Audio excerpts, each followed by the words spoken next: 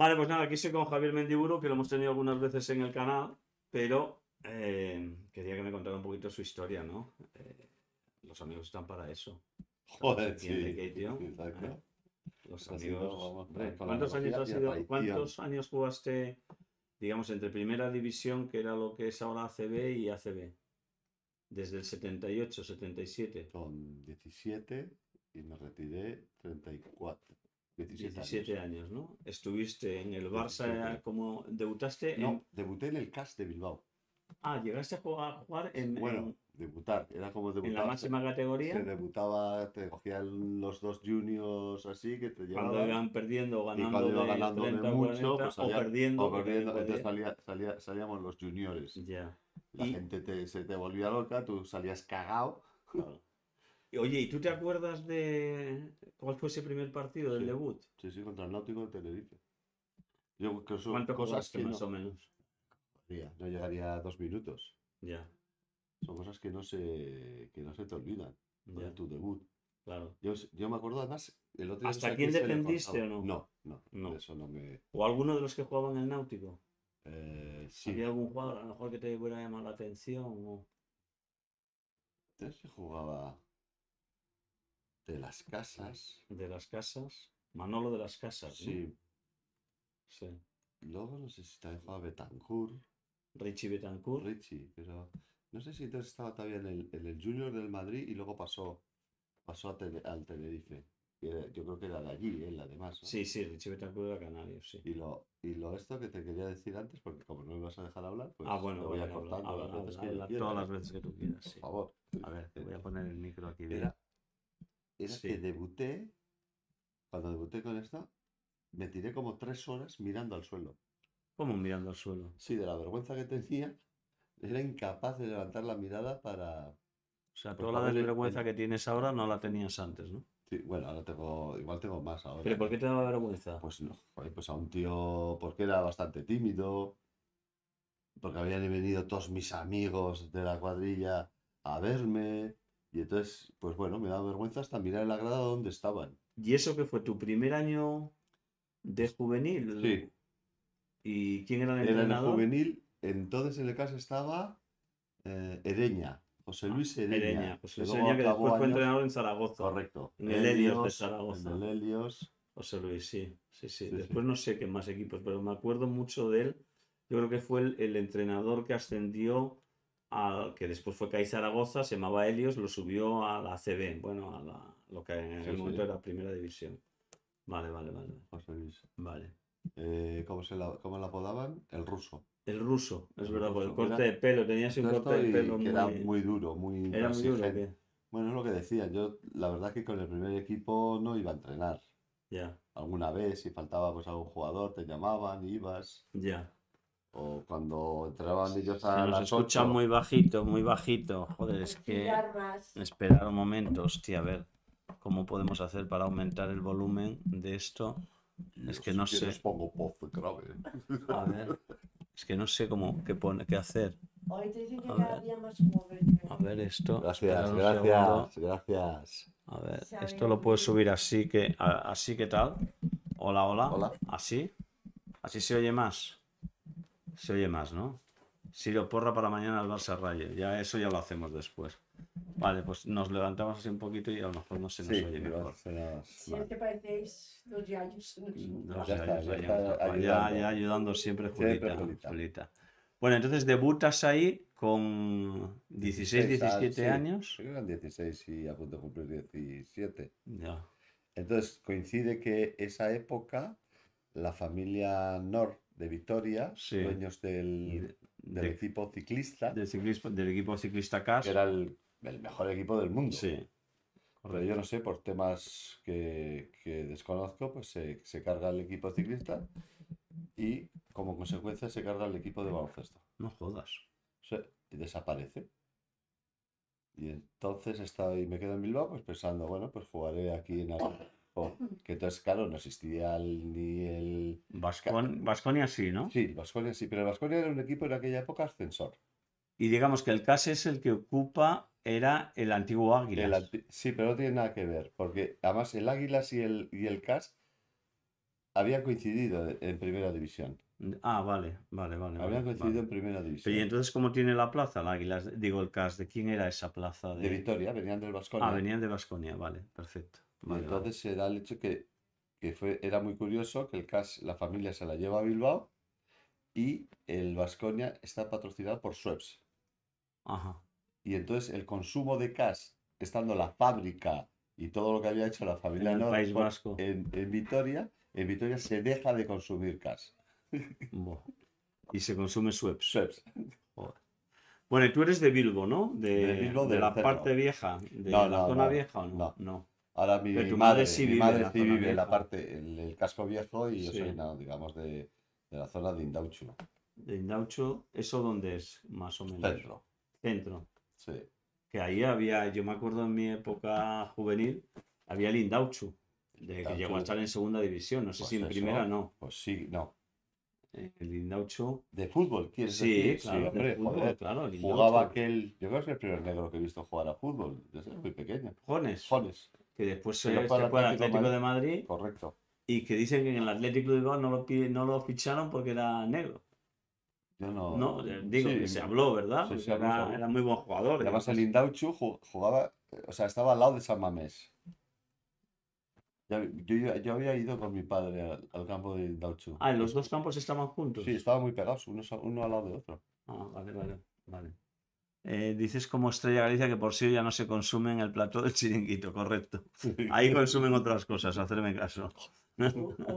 No, hombre, no, consumen, quiero decir, joder, consumen otras bebidas. O sea, no, no, no consumen Estrella Galicia. Bueno, hablando Vamos, de hasta que bebidas, sean mis cierto, patrocinadores. Me has dicho que ¿Eh? en el catering iba a haber algo aquí para... Bueno, las, las azafatas que son Julita y, y la niña, ¿eh? No, son las que nos tienen que traer algo de... cubata, algo, claro. Ah, Vamos, una- aquí Una cosita de Estrella Galicia, algo, ¿no? Sí, no He sé. visto ahí que hay unos botes, y... pero bueno, Sí, sí. yo no soy responsable del catering. Entonces, Ya. yo me preocupo de muchas cosas, de Joder. montar las escenas, de que esto más o menos funcione, pero ya bastante tengo, claro. Estoy haciendo un trabajo y pero oye, me está funcionando, estoy muy contento, toco madera. Hoy sí El Toco invento madera, hecho, ¿no? El invento de mi Need Gear que funciona mejor. Estabas pensando que no te iba... No, que no, que claro, me, me pensaba que el router Ya, de, pues, de una casa funcionará mejor que el router Ya. mío, pero no. Debe amplificar más la señal esto. Te veo, te veo que te... te tengo, ¿Qué te pasa algo? eh, tengo un poquito de gases. ¿Tienes gases? O sea, sí, Mm. en la comida hemos- que hemos tomado unas faves con 36 grados que hacía hoy el judías rojas. y te has metido un platazo de judías rojas con la salsa y con Claro, todo, claro. aquí ya llega la Aquí zapata. ha llegado la zapata. Con estrella. Estrella Galicia, gente, claro que no falle. Esta me has dicho que luego me mandarán unas cajas. Te mandarán unas cajas mis Sí, ¿no? amigos de Estrella Galicia. Digo, te las Sí. quedarás tú. Porque agua, agua no quieres. No, no, Agua, no, no, agua no, para bañarte, ¿no? Eh, y, justo. Claro. Eh, bueno, entonces, eh, ¿cómo era Javier Mendiburu? Bueno, sois cuatro hermanos, Cuatro. tres chicos y una chica. Petróleos, Petróleo es el mayor, luego vengo yo. viene lo de petróleos, le viene Porque porque había trabajado embarcado En petroleros, en petroleros, radiotelegrafista. ¿vale? Luego Piraña. vengo yo, luego viene. Miquel Piraña. Miquel Piraña, que le viene de. Esa es buena, esa tienes que contarla. Miquel Piraña. Bueno, cuando Bueno. éramos jóvenes eh, habíamos ido de excursión a, a Laredo y bueno, después Tomasteis un poquito de agua. tomamos un poquito de agua con misterio, como dicen los de Sálvame, Sí. y eh, estábamos a la mañana en la. Y de repente se pone a gritar, pero como un energúmeno. ¡Pirañas, pirañas! ¡Saquen a los niños! Pero eso gente- durmiendo, ¿o qué? No, no, no, esto es en la playa, de día. Pero con, claro, con una peonza como. Joder, general, vamos, claro. le damos con un resacón de tres pares de cojones. Claro. Y estamos ahí pues, intentando a ver si espabilábamos un poco. Y el cabrito de ese pone a gritar, eso saquen a los niños. a-". ¿Lo Joder, decía en serio? sí, sí, pero O sea, como si... Claro. O sea, no era bromeando, claro. Joder, veías a las madres sacando a los niños, la gente mirando donde él estaba. Joder, y las pirañas eran... Pues, aquí se dice mocordos, no sé cómo se dice.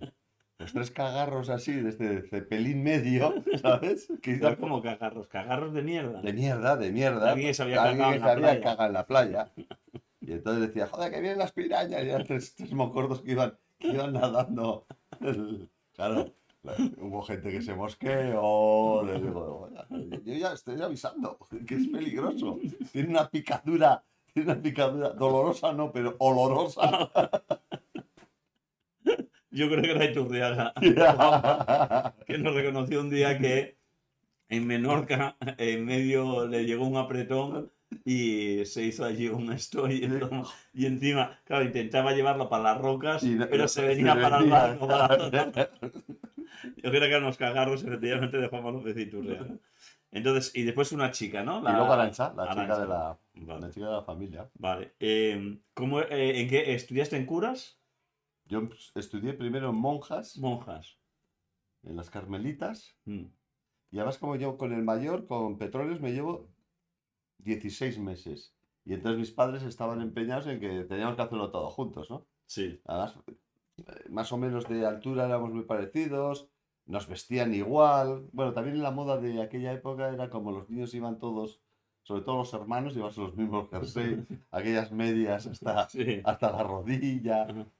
Y entonces, pues me metieron en el, culo- en el colegio del, en Indauchu, precisamente en una plaza que se llama Indauchu en Bilbao, eh, las Carmelitas. Y allí estuve hasta los, hasta hacer, hacer la comunión y luego nos pasamos a la Salle. Ajá. Y allí estuve pues hasta COU, con los, con los hermanos del bombero. Que por cierto, ayer te. eh, Lewandowski, gracias por eh, suscribirte, Schooler. Eh, que por cierto, ayer nos encontramos con un exalumno Sí, también sí, de, sí, y cantasteis. El himno del El colegio. himno del colegio, ¿no? O sea, que muy bien, muy bien, muy bien. Y luego Igual conté la- no se le entendía mucho A él no. a él tu no. socio, a tu compañero exalumno. Pero llevaba el ritmo. Lleva- Llevaba muy bien el igual, ritmo. estaba un poquito castigado. Dice la Salle Deusto, no es la Salle de Deusto. ah, es que ahora, ahora, después de donde yo estudié, el colegio se, se desplazó a, a Deusto. Ah. Es verdad, el que dice eso es verdad. O sea, es el, tu antiguo colegio ahora está en Deusto. Ahora ya no está, desapareció la, lo que es eh, la manzana donde, donde estaba ubicado el colegio y entonces como tenían, yo creo que tenían otra sede en Deusto, que es un barrio que está pues a la- un poco a las afueras de Bilbao, entonces se trasladaron allí. Mira, aquí hay mucha gente que sigue el baloncesto. Mira, eh, Herbert Claver eh, dice que si la camiseta esta es de cuando Trotsky estuvo en. Correcto, en Green Bay, en en la universidad, Bay. Sí, correcto. en Estados Unidos. ¿Tú cómo lo sabes, Herbert Clever? La camiseta me han dicho cuando su hijo estuvo en la universidad. La que yo conocí era de Deusto, dicen por, a- por aquí. Pues debe ser muy joven. Oye, ¿cómo era ser de estudiante tú? Bien, Bien. sí, tampoco me mataba mucho, pero Suficiente para ir aprobando, claro. Sí, sí, sí, pero no ¿Qué asignaturas se te daban mejor? A mí las, las de historia Sí. y, y, y, y, y- luego y esto, ¿no? A mí también me me daban química. bien. Ah, no, a mí no. Química. Las fórmulas y esto me... Todo lo que era bien. matemáticas, física. Y en cambio, lo- eh, cuando teníamos, me parece que era en cuarto y en, no sé, era cuarto y sexto, o había dos cursos así, Sí. que, que no, no podía, no dibujaba nada. Yo no sé hacer una, Bueno, yo dibujo no. yo no sé hacer una, Bueno, una la gente, puta casa, la gente que sigue el canal sabe que yo. Pero nada de nada. Y entonces me los hacía petróleos, los dibujos. Tu hermano mayor. Sí, Sí. hasta que se dieron cuenta ¿Qué? y, me- y ¿Qué entonces veías las notas, tal, tal, tal, tal, tal, dibujo, Dibujo porque me pillaron que había sido petróleo el que me lo había hecho. ¿Y pensabas en, eh, dices, que en qué querías ser de mayor o todavía? No, No. creo que tenía entonces así esas, esas inquietudes de que iba. Quería ser, mi padre había estudiado, como le cogió la guerra, había estudiado medicina. Ah, Y él siempre me había inculcado Pero no el acabó. tema. No, no acabó. no. Porque mi madre se ve que le tenía un negocio de transportes Sí. aquí en Euskadi y le dijo, eh, te casas o nos casamos ya y tengo esto o si te esperas, Estudio no sé si medicina. le dijo dos o tres años, Claro. dice, y acabo la carrera. Ajá. Y mi madre dijo que, que, ¿Qué para qué? que para qué. Que nos casamos. Ya casamos. A ver si este sinvergüenza Luego va a conocer a otra. Claro, efectivamente. Y, y entonces sí que llegaste a pensar en algún momento, a lo Sí, mejor, en, sí, sí, en lo el de- tema de en la la- en el medicina. tema de la medicina. Sí, Ya. sí. Además, hostia, me daba. Pillaba muchas láminas de los. Pero esto sí que me acuerdo con 10, 12, 13 años. Sí. Láminas de- del cuerpo humano, no sé qué, momentos. Y Petróleos y Miquel también eh, jugaron a básquet, ¿no? Sí, José sí. Lo pasa- yo creo que es la frustración un poco de petróleo, ¿no? Porque pues, era como para mantenerse unido al, al- al- al- Porque claro, los que jugábamos en el colegio éramos amigos. Claro. Éramos los que íbamos a tomar potes, éramos los que íbamos a hacer los guateques. Y entonces el José, como no entraba en el equipo, pues hizo el delegado. Era el delegado de equipo. Para mantener ahí la, ahí la historia, ¿no? Hasta que luego ya fue, se fue a la, a la escuela de náutica y ya pues eh, se buscó su hizo cuadrilla, marino su historia, mercante, tal, no sé mercante y ya pues. Y. Mikel también después jugó, ¿no? Mikel sí, Mikel jugó muchos Muchos más años. y llegó, a- y llegó incluso a jugar en el Águilas cuando estaba en segunda. Ah, no. Pero que además incluso Mikel ha jugado hasta, bueno, hasta que las lesiones ya le han esto, sí, sí, le gustaba mucho a Mikel jugar a... Estropeado de Ahora está, ahora está, está cascadísimo, pobre hombre. Está hecho una mierda. Pero bueno, ahí se mantiene. Oye, eh, entonces empiezas, eh, como todos, ¿no? A jugar en el colegio. Sí, hay ¿Fútbol una, hay una... No. Sí, yo, Ah, yo había- todo. central. Ah, sí. Sí, sí. ¿Y qué tal se te daba? Mm, Bueno, no, no, Bueno, no muy grande. claro, Exacto, como era muy la grande, pues, era ¡pum! complicada. Y eras- exacto, era un Claro. pato, pato. Claro. Pero hay una, hay una camiseta, claro. Bueno, hay una foto que es que esa yo creo que no la enseñaré en la vida. Unos pantalones. Entonces, encima de los pantalones, y claro, ahora no es como ahora que llevas un cinturoncito. Sí. Entonces, en aquella igual ibas con unos tirantes o. Bueno, te- se- te- las madres yo creo que se buscaban la vida, ¿no? Sí. Y entonces me meten una camiseta encima de los. Joder, y no había manera de sujetar los pantalones. Hostia. Y entonces, claro, solo jugabas con los zapatos que habías llevado, Claro. no sé qué, y te ponían la camiseta. Claro. Hostia, y yo todo el puto partido que es el pantalón para arriba, que es el pantalón para abajo. Bueno, un, un, un auténtico desastre. Y empecé con el fútbol. Y entonces, me acuerdo que un día viene un tío al, al colegio, que yo supongo que estaría en promocional, que era de Coca-Cola. Y entonces nos Era empieza- salto ya, porque hay No gente que estira mucho, por sí. ejemplo, a los Yo fui- 14 o por ahí. Sí, yo, no, por ejemplo, yo poco hasta a poco, poco a los poco. 14 medía lo mismo que mido ahora. Ya. Pero después hay gente que, por ejemplo, a los 14 es cuando pega lesión. Yo lo debí pegar de los Sí. 10 a los 14 y ahí me quedé. Hombre, yo destacaba, Claro. pero, pero el crecimiento fue como muy, muy poco a poco, muy paulatino. No fue dar estirones y tampoco era exageradamente alto, ¿sabes? Era, pues había, igual como esto, pues había, les llegaba, les sacaba pues media cabeza o... ¿Y, y dónde haces el cambio del fútbol al baloncesto? ¿Qué me decías? Que hubo Eso, alguien ahí sí, que... yo fue, creo que fue a los nueve años. Entonces viene, viene una persona que no me acuerdo qué, qué cargo tenía ni nada y nos empieza a hablar de, bueno, de Coca-Cola, de la promoción de la Coca-Cola y tal. Y nos dice que se crea, eh, es la primera vez que oigo la palabra minibásquet. Minibásquet, es verdad, claro. Y entonces, claro, yo digo, minibásquet. Porque minibásquet, digámosle a la gente que más o menos se empieza a jugar en el año cuando 65 Sí, o sí, 66 o eh, 10 años debías tener. Nueve, Claro, 9, 10 años. 56, Claro. 60, Sí, sí, claro.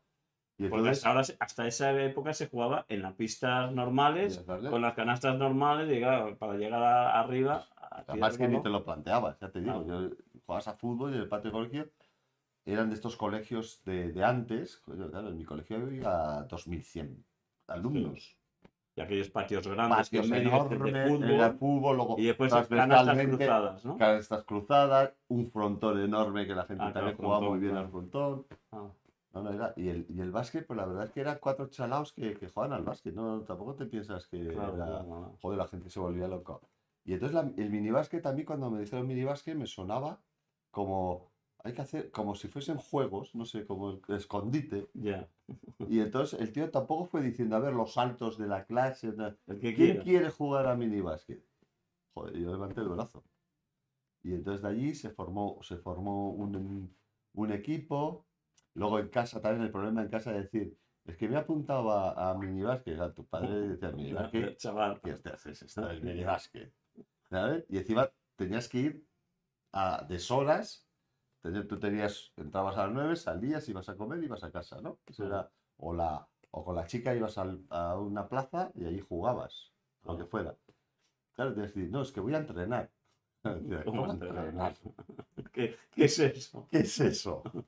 Claro. ¿Y, aquí- cuándo vas a entrenar? No, me tengo que quedar en el colegio y entonces hacemos el entreno, pues de, de- no sé si salíamos entonces a las 6 menos cuarto, una cosa así. Pues a las 6 y de 6 a 7. ¿Cómo de 6 a 7? ¿Sabes? Que tienes ¿Y que cuántos estudiar. días? Dice, no, parece que entrenaremos, pues igual entrenábamos 3 o 3 o 2. ¿Y tú Y- te acuerdas y de tu primer entrenador? Del primer entrenador, sí. Era un tío, se apellidaba Arza. Y había jugado baloncesto. Él veces- jugaba en el equipo juvenil del colegio. Ah, vale. Vale. Y Vale. entonces este se encargaba de nosotros. Y me acuerdo que el. Joder, me acuerdo hasta de. Del, hasta la primera lesión que tuve. Me torció el tobillo. Que había un equipo en Basauri, San José Basauri, que, que eran como era nuestra competencia, ¿no? Mm. Que eran los buenos de allí. Y, y que no pude jugar. ¿Y de qué jugaba? Eh, Pivot, siempre ya siempre de pivot. Sí, era, de- de- era el más alto, no la vida más. Decías que en fútbol eras eh, así como pato, Eh, pero en cambio tú eres un jugador que, que Sí, si sí, hubieras no, no. destacado, claro, pues que tú con la estatura que tienes, en esa, ya haber- en esa época eh, hubieras sufrido de no tener el juego de pies que tenías. Se ha comido un, un, torrao. Por eso, por eso, que cambio en Lo que pasa que era, bueno, es que siempre he sido un jugador como raro, ¿no? Raro, raro, raro. Era como, que era, o sea, porque yo, eh, los tíos altos, altos, normalmente, los que, el que iba de pivot era el alto, Y gordo, ¿eh? que te metía el culo, que te ganaba la posición, lentorro, ¿sabes? Pero yo, no ese, no era, ese no era el tipo de jugador. Y yo corría, claro. era, era, bueno, corría, era rápido, me movía.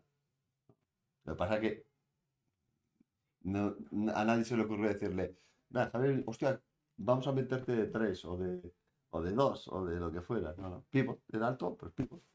No Sí, bueno, en esa época era un poco eso también. Era eso, era eso, era. era eso. Los bases pe- pequeños, No, los exacto. un poquito más altos. exacto. eh, y el así, más grande- esto aquí, tú aquí, tú aquí. Claro. Sota caballo. No había nada más. Oye, ¿cuándo te piensas que, que a lo mejor sí que te puedes dedicar a esto del baloncesto? ¿Cuando te ficha el Barça o no? No, tampoco te pienses que pensaba. A mí me gustaba jugar. Y lo del Barça, a mí cuando llego a Barcelona, yo llegué eh, cagao. Cagao. Entonces no, no pensaba. Pensaba más en, en- en cómo gestionar esa, eh, esa situación que el hecho de, hostia, estoy aquí y voy a llegar a. No. Y entonces tampoco pensábamos. ¿Qué tenías? íbamos a- ¿17? Sí, cuando llegué aquí tenía 17 Al Barça. al Barça. ¿Quién te iba a buscar allí? Paco Bernal. Paco Bernal, que era un Paco Bernal. era del departamento técnico, ¿no? Paco Sí. era entrenador también, yo creo Exacto. recordar. Paco era Y entonces un, un gran amigo nuestro que, que, ha- que hace poco des- desapareció, Miguelito, Miguel López Abril. Miguel López Abril, habíamos coincidido en una selección sub-20 en Donosti. Antes de que fichabas por el Barça. sí, porque desaparece el CAS, pero bueno, algunos jugadores del CAS eh, nos seleccionan en distintas categorías y hay una super concentración en, en, en Donosti. En San Sebastián, y Miguelito estaba allí. Luego, claro, cuando vine a Barcelona, uno de mis mejores amigos era Pues, Miguelito, Miguel, ¿no? Miguel, ¿no? Y Perico, y Perico Ansa, ¿no? Sí. Junto con Nacho Solozábal. Mm. Y porque con Nacho y Solozábal coincidí en el Junior y jugaba con ellos. Con Nacho y Perico. Con Nacho y Perico. Esto. Y entonces el, el Eduardo Portela, el que ha sido El presidente de la ACB, pues le preguntó a mí, ¿qué, hay allí interesante? Miguelito. Y el Miguelito dijo, solo hay dos, Tú y. yo y Crejeta. Ah, y José Anguerejeta. Y José Que es verdad que. José estuvo a punto de fichar por el Barça. Y al Sí. final acabó fichando. Bueno, hoy lo hablábamos, que hemos estado comiendo con Chema Capetillo, que había sido jugador de Basconia. Y siempre que, que- que- estamos por aquí comemos con él.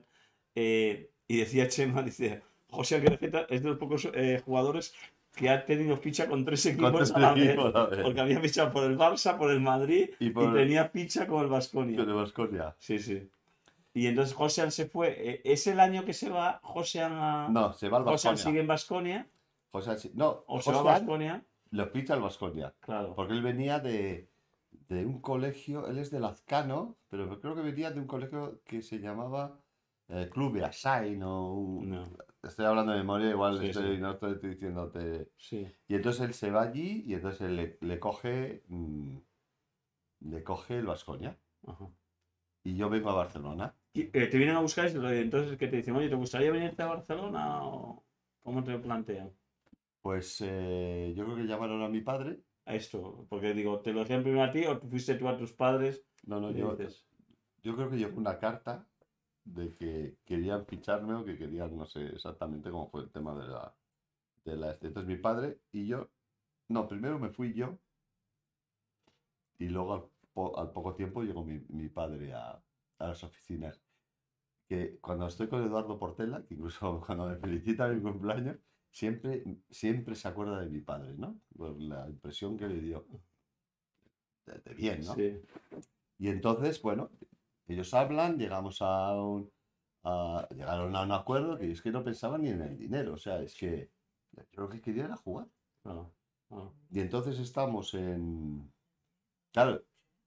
Y entonces llego yo y me meten en un hotel. Claro, porque hay que decirle a la gente que eh, no había masía. No había O sea, En masía. ese momento no había masía y tanto los jugadores de fútbol que fichaba, los chavales que fichaba el Barça de fuera de Cataluña o de Barcelona y los de baloncesto, pues teníais que ir A un eh, hotel, o había- principio a un había- hotel. O había una señora, yo me acuerdo que luego acabé con esta señora, que igual recogía a tres o cuatro jugadores. Pero en aquel momento no Era la madre de. Chus. No, Ah, vale, era, la a tía, era la tía de Aito. Ah, Mira la la, tía la de Aito vuelta, García la vuelta de la vida. tu gran amigo. Mi gran amigo íntimo. Sí. Que tenía pues como una especie de, de pensión en Paseo de Gracia. Y que Aito vivía ahí. Ah, Aito vivía ahí. Sí, esas, estas casas, bueno, súper Grandes de grandes, Paseo de con Gracia. los techos grandes y que tenía pues no sé cuántas habitaciones. Y entonces como eso yo supongo que estaba, ya, ya estaban becados ahí tres o cuatro jugadores, Claro. pues a mí me, dejaron en el hotel. Y entonces, claro, yo iba a entrenar con el primer equipo y con el junior. El Hotel. Rally era, ¿no? Hotel Rally. Hotel Rally que es famoso, era un hotel muy famoso. Y entonces, claro, yo llegaba allí, imagínate, con la boina, el paraguas, todo me parecía como tal, y una habitación, sí, muy bien, lo que tú quieras, pero cuatro, cuatro paredes, Claro, llegabas de entrenar, te metías ahí en la habitación, acojonado. acojo- sí, Dices, como, hostia, ¿qué hostias hago aquí? ¿Qué hostias hago aquí? Joder, ¿Llegaste a pensar en volverte? Joder, al mes cojo la maleta y sin te decir nada a nadie me voy para Bilbao. Hostia, Me voy- esa no la sabía. Sí, sí, me voy, a, me voy, llego, llego a casa y, "Vale, ¿qué haces aquí? Claro, lo primero que hace mi padre, ¿qué has hecho? Y yo, "Nada, No, no, no he hecho nada. Nada, que estoy, que estoy solo. Y entonces, ¿qué haces aquí? Dice, Que, que no lo aguanto, que no, que no quiero, que no quiero. Claro, me habían sacado de mi entorno, de mi, ese Tus sentimiento amigos. el que tenemos los vascos de cuadrilla, de, Claro. desde el colegio, no sé. A ellos, claro, te veían y te eran, hostia, eh, Javi ha ido a Barcelona, para ellos era un orgullo, tal, Claro. pero, pero para mí era, era como un, como un castigo. Un castigo, te comías. ¿Quién era tu entrenador en esa época? Paco Vergara. Paco. Y que había coincidido en una operación a altura en Soria, y entonces ya, ya lo conocía. Ya lo conocías. Y entonces me vino a buscar al aeropuerto y el primer entrenamiento y me presentaron a, pues, a Nacho, a Perico. ¿Quién estaba en ese junior? Eh, Perico Ansa, ahora Ah. presidente de la Asociación de Veteranos. Nacho, Nacheras, Nacho Soldado, Rodríguez, Chus Rodríguez, Santi Pérez, el Santi. Pérez, el Turrat. ¿Qué pasó con tu padre? ¿Qué No, ahora espera, espera. No, que pasó nada, ¿no? Ah, bueno, ahora después de esto. Ah, de... Claro, Claro, me corta, te corta. no le interesa. Pero porque, bueno. No, no, eh, me pegó, me pegó un cho... No, no me pegó un chorreo, me pegó, yo creo que la conversación más... Más, más- dura que has tenido. No, Juan. dura no, más seria, más... Más serio diciéndote. Sí, tío, hay que exacto. Hay que madurar, ta, ta, pa, pa, pum. Bueno, pues al, al día siguiente el viaje en avión otra vez de vuelta. y entonces mi padre se pone en contacto con Eduardo y le dice, es que el hotel es solo, tal, no sé qué. Y Eduardo, que era como muy, muy sentimental, muy paternalista sí. para todo esto, Sí, entonces me dice, ya te hemos encontrado un sitio. vale. Y me voy a vivir con los EPI. Hostia, con Y el niño y Juan Antonio. Es verdad que eso no me acordaba yo, que había solo vivido. Y voy con los con- padres, que, entonces eh, el EPI mayor, que era, El era el niño era el mejor, bueno. el bueno y traer al otro, y EPI había estado en el CAS, Herminio, Herminio. el mayor. Claro, Vale. y jugábamos en el Claro, en el Junior, CAS. tenía un año más que yo, pero Claro. coincidimos en el Junior y él iba siempre con Claro. el primer equipo. Claro, bueno, Y entonces. entonces ahí ya lo conocía de Bilbao y pues ya nos conocíamos. Y Claro. entonces me meten con la familia de los, De los de los EPI, eh, doña Mal- Amelia, a veces se llamaba ella, y el padre no me acuerdo. Herminio, a lo mejor. No sé. Y entonces es, bueno, empe- ¿Y ahí cuánto tiempo estuviste? pues hay muy poco también, la verdad. Bueno, ¿Por qué? No. A ver. Bueno, Bueno, como decía, no, yo estuve, ahí estuve casi hasta, hasta final de temporada. Hasta que la madre de siete, Pi, ocho meses. sí, hasta la madre de Pi dijo que, Eh, porque, bueno, ¿cómo, se llama, cómo se ahí- llama el cubano? El- la noche me confunde. claro, Pues me confundió la noche. Yo fui, yo fui el que inventó la noche me confunde.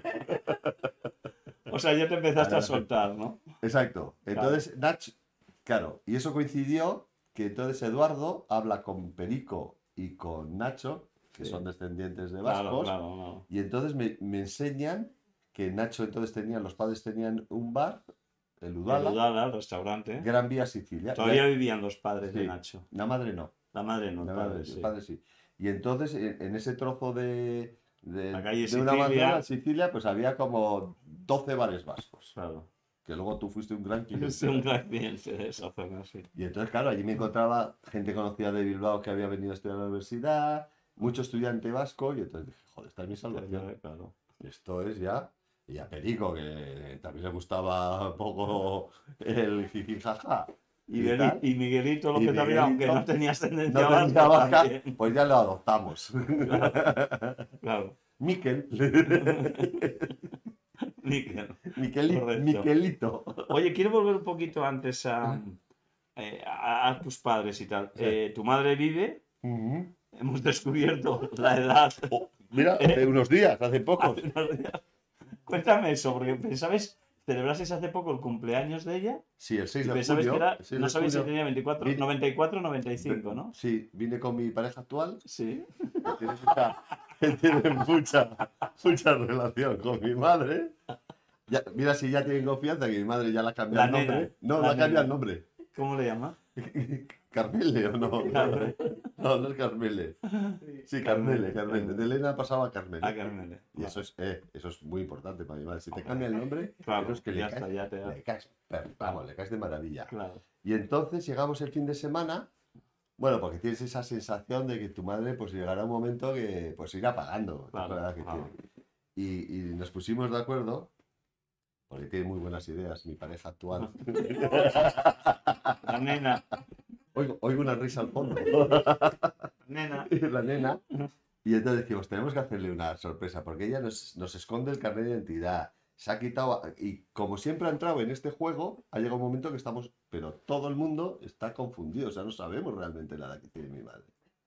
Y entonces ah, le hacemos la tarta, tal, no sé qué, y le digo, bueno, si lo le damos, decimos, ¿sabes qué? Vamos a poner 94, 95 y 96. Encendía las velitas, pero llegaba esto. Bueno, tienes que haber visto la cara de ella con la tarta, pero era como una niña. Y dice, ¿qué es esto? Como diciendo, ¿qué, qué, qué? Dice, no, mamá, como, como no sabemos tu edad, pues sopla la que es. Dice, sopló las, sopló el Las 94, el y 95 y, no era el 96, ninguna. y callada, sin decir nada. sin decir nada.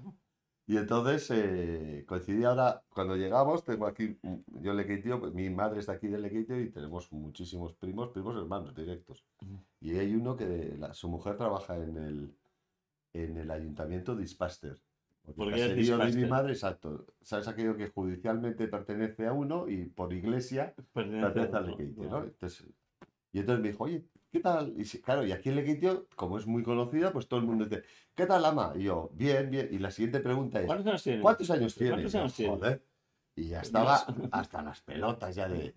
Y entonces le digo a esta, oye, ¿me puedes hacer un- ¿Tú crees que hay algún sitio donde podamos buscar? Y me dice, sí, sí, te lo miraré, te lo miraré. Y entonces, nada, los dos días me la encont- me la encuentro por la calle o tomando vinos y me dice, joder, es que es, es complicado porque como mi madre ya no estaba empadronada en, en el caserío, Claro. Alisa Bilbao, vamos, claro. dices que no tenemos la manera, pues salían todos mis tíos, tal, no sé qué, pero no salía, no salía ella. Y entonces dices, espera, que, que hay una manera, bueno, ya te digo algo. Joder, hay un día que me está llamando por teléfono y he pensado, joder, qué, qué, qué pesadez. ¿no? Y, joder, pero un certificado de mi madre que sale tal, tal, tal, y sale 1925. O sea, Mi madre tenía novi- tiene 97 años. 97 años. A decir, pero, pero. Hostia, pero me, dio una- me entró una cosa porque además eh, hay como un pequeño informe en el papel, ¿no? ¿Quién, quién, escribí- quién la escribió? Y, tal, y entonces sale mi, Tu abuelo, mi abuelo que yo, no la- que yo no llegué a conocer, ¿no? claro, Al- tu bisabuelo. ello, la- mi abuela Tomasa, la edad que tenía cuando, cuando nació mi, mi madre. Bueno, eso, ¿sabes? Que lo que he visto es que ocho apellidos vascos casi los tenéis, ¿no? Porque, joder, había en apellidos este, en ahí. este momento Había- dejo la entrevista. Pero, ¿cómo, puedes dudar? Pero, ¿Cómo puedes No, no, dudar? que me ha hecho mucha gracia los apellidos que iba escuchando hoy cuando estabas hablando de ese tema. Yo digo, joder, casi el más, el más esto es Zamora, Sí, sí, el de sí, tu sí, padre. sí. O sea, no, mi madre, mi el madre. De tu madre. Pero sí. claro, de, de tu madre, que están sus, tus, sus padres, sus abuelos y tal, Sí, sí. eran, bueno, lo de Zamora es una anécdota. O está Cortavitarte, Claro, Abo- Cortavitarte. Aboitit, Ormaechea. Bueno, bueno, bueno, bueno, madre mía, madre mía. Y tu padre era de Donosti, ¿o Mi no? padre era de Donosti, de la parte vieja. De Que eso no se lo han perdonado aquí en Lequeitio, yo creo que se llevara No, una... no. Mi padre ¿No? pocas cosas no le perdonaban. ¿eh? Mi padre en aquella época pero... medía metro 94 y 130 kilos. Mm, no creo que... mm, Bueno, pero no se lo perdonaban, le hacían carita. Bueno, no sé. no, mi padre aquí, que tú conoces el bar, el Buría, Sí, el sí. padre de, de Bichos, que se llama también Bichos, este siempre me cuenta la anécdota. Mi padre no era de los de, eh. De los del Atleti que odian a la Real, o el Barça que odia no sé qué. Y me acuerdo que eso me contaba él. Que Él era de la Real. él era de la Real, y entonces hay una discusión de estas, pero una discusión ya subidita, ¿no? Sí. Entonces, "Hijos de puta, no sé qué. Y entonces mi padre levanta un poquito la voz, y entonces en euskera, ¿no? Sí. Que dijo como, los dos son equipos euskaldunes. Se hizo un silencio en el bar. Dice, y hay que, dice, hay que dar la cosa. ya no hay más discusión. Y en cambio mi padre era, era, era socio del Atleti. Ah, era socio. Sí, sí, cuando de San Sebastián se fue a vivir a Bilbao, ahí conoció a, a- a mi madre, ahí nació Petróleo, yo, Piraña y, y Arancha, y, y él era socio y mi madre también. Y todos los domingos, que me acuerdo, joder, que además en casa tenemos esta costumbre de comer tarde, bueno, comiendo salían, se encendía el puro, y entonces se jugaba, yo creo que se jugaba el domingo a las cuatro y media de la tarde, era como... Sí, cuatro y media. Cuatro y media, Había o sea, no era- sitios. No era eso de que Sí, un no, partido ahora el lunes era a las siete, tres, no, no, ajá. entonces era a las cuatro y media de la tarde. Ah. Que además había un suelta de palomas, era todo como una como un montaje, ¿no? Y era de la, era socio. Menos cuando, menos Y cuando. luego surreal, pues era surreal. Pero también en aquella época la Real tampoco estaba en primera. Cuando era joven, no, pero después, claro, Claro. Él, di- él disfrutó de todos modos de, de- de- del primer título de liga, ¿lo llegó No, a disfrutar? No, No, murió. Es Ah, que mi claro. padre murió joven. es lo que te iba a decir, tu padre muere sí, joven. Sí, sí, De estando un yo- infarto. De un infarto. De un infarto. Pues le descubre en una. Se cae en una. En día de lluvia, pisa una alcantarilla mal, mete el pie, se le hace una, una herida de la rodilla y otra abajo. Y, y entonces descubre que no se le cerraba. Le hace una analítica y tenía diabetes. Hostia. Y entonces eh, me acuerdo, joder, que tomaba rastinón, que eran unas pastillas pues para. En vez de pincharse insulina, la diabetes. pues se metía, se metía. Entonces, claro, un tiarrón que, vamos, comía, bebía, tenía una vida de. Ah. joder, empezó a. Los lomos del, del pan a pesarlos 150 Bueno, gramos. no. y no puedo comer esto, no puedo Madre comer mía. esto. Claro, al principio sí, claro, te asustas y adelgazó, igual adelgazó 12 kilos, una cosa así. Pero, empatamos por no. Joder, en casa que eran los domingos los de los pasteles, era como una tradición, y decía, déjame, déjame un poco, y metía el dedo con el merengue, o, o se comía, no, este, y todos decíamos, ahí está, coño, que cuídate, que los pasteles, y entonces en vez de tomarse tres de rastinón, se tomaba cinco, y él pensaba, bueno, contrarresto, con no sé qué, y entonces ya, y un día le pegó, le pegó, es, yo me acuerdo, estaba, estaba en casa, me llamó José, que estaba en la U, en la Estabas en Badalona. yo estaba en Badalona, estaba en la UBI y, y, y a cabo de un día o así, yo ya me iba para Bilbao y me dice, no te preocupes, no te preocupes. Bueno, también es que hay que conocer a, a Petróleo dando noticias. No te preocupes, no te preocupes, que ya todos los días ha salido, ya está animado, ya está bien. Pues a la noche murió. Y para mí fue un palo, fue un palo Claro. muy importante, porque yo con mi padre estaba un poco como un muy ídolo. ¿no? Sí, Era mi padre ídolo. era un padre. ¿Cuántos años tenía? 64. Muy joven, ¿no? 64 años, muy joven. Muy joven, muy joven. Hombre, comparado con los 97 de mi madre.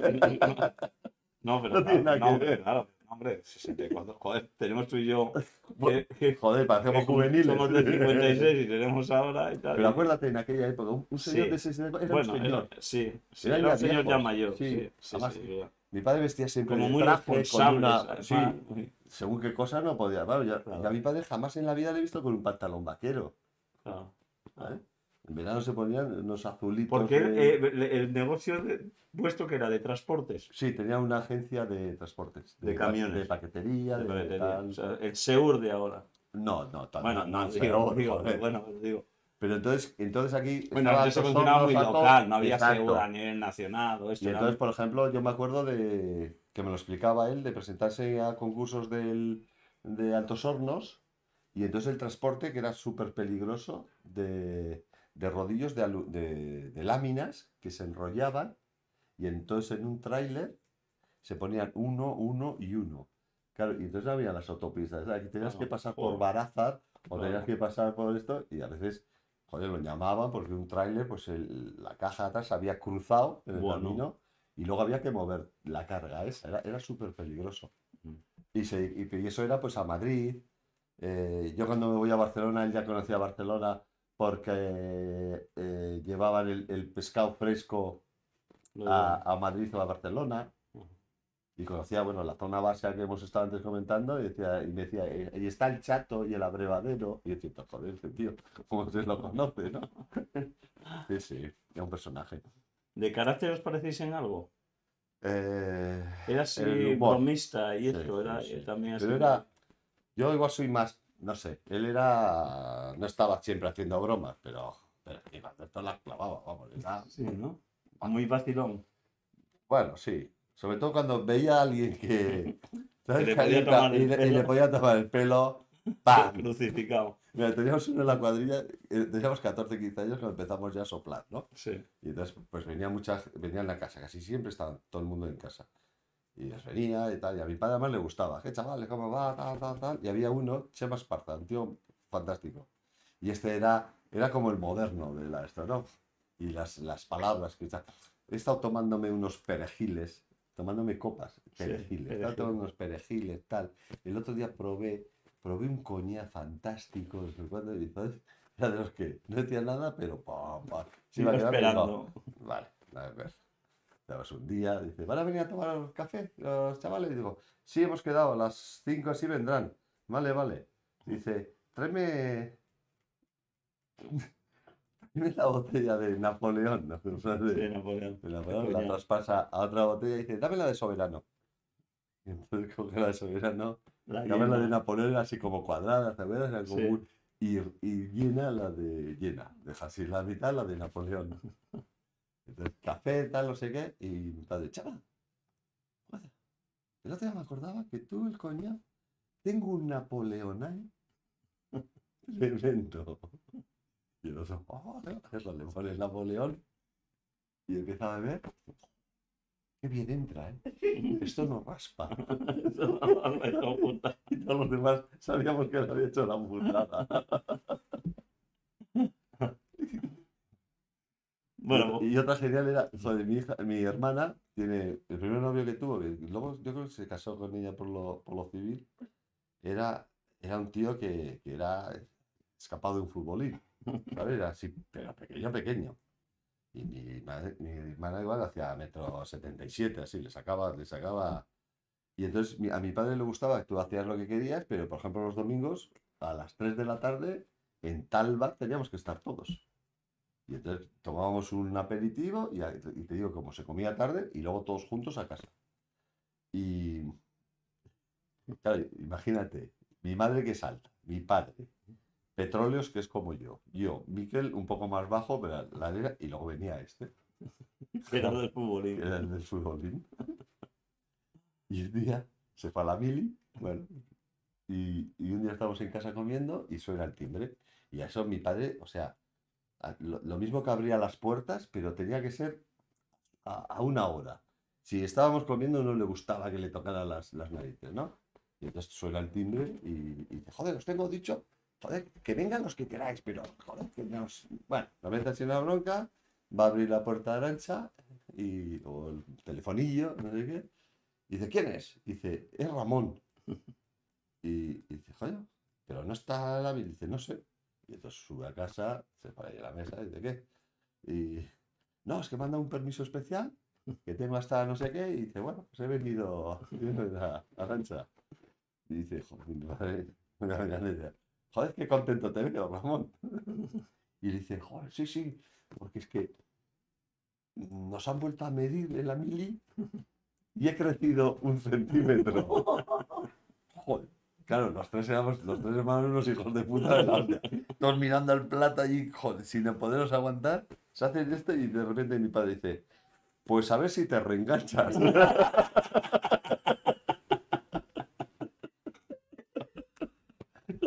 Casi coge el metro ochenta, me cago en la mar. Joder, fue genial. A ver si te reenganchas. Le jodió todo el fin de semana, pobre Ramón. Bueno, entonces volvemos a Barcelona. Eh, ya hemos hablado así un poquito que quería. Que por cierto, tu padre, hay una cosa que me- ya sabes que a mí me gusta mucho. eh, sí, mira, de hecho, tengo aquí un, un- el libro que ya lo enseñó a la gente. Vecinos de sangre, que es historias de héroes, villanos y víctimas en el Madrid de la guerra civil y tal. Que Sí. tu, padre vivió la guerra civil. Joder, la vio, y además de muy joven, con 18 años. O sea, él la- llegó a. Sí, sí, él era. Y además mi madre está, mi madre está cobrando la, la, la viudez o la pensión de, de- por mediación del gobierno vasco, pues a todos los, los, los que participaron en aquel evento, pues, pues cobran dinero. Entonces con 18 años era de, de la Guardia Personal motorizada de José Antonio Aguirre, el primer el Lendakari. primer Landacari. El primer Lendakari. Y además, bueno, además, a veces buscando papeles, el- o sea, es impresionante ver el carné, de- que entonces eran los primeros como diciendo, Claro. con la policía de aquí, ¿no? Y estuvo en el frente, lo pasaron, luego lo cogieron y entonces lo que hacía Franco era, ah, los metían en batallones de castigo, que eran en primera línea. Hostia. O Y sea, luego cuando acabó, que, que estaba o sea, en un lado, estuvo en un lado, coge, estuvo Y luego los mete que- en los batallones de castigo y cuando acaba la guerra, pues estuvo siete años en la cárcel junto con mi abuelo, con sea pena que- de muerte. O sea, no solo lo meten en esto, sino Y que así encima esto, le meten. luego le meten en la ¿Y cárcel. con tu abuelo por qué? Porque mi, mi abuelo era el presidente del Colegio Farmacéutico de Donosti, por algún chivatazo o por alguna historia, Ah, no pillo. pues le cargaron alguna, bueno, las, esas envidias que hubo en la guerra, pues que... Y entonces también eh, tenían pena de muerte, estuvo ¿Te había contado alguna, alguna anécdota así o No, no le gustaba hablar de eso. no?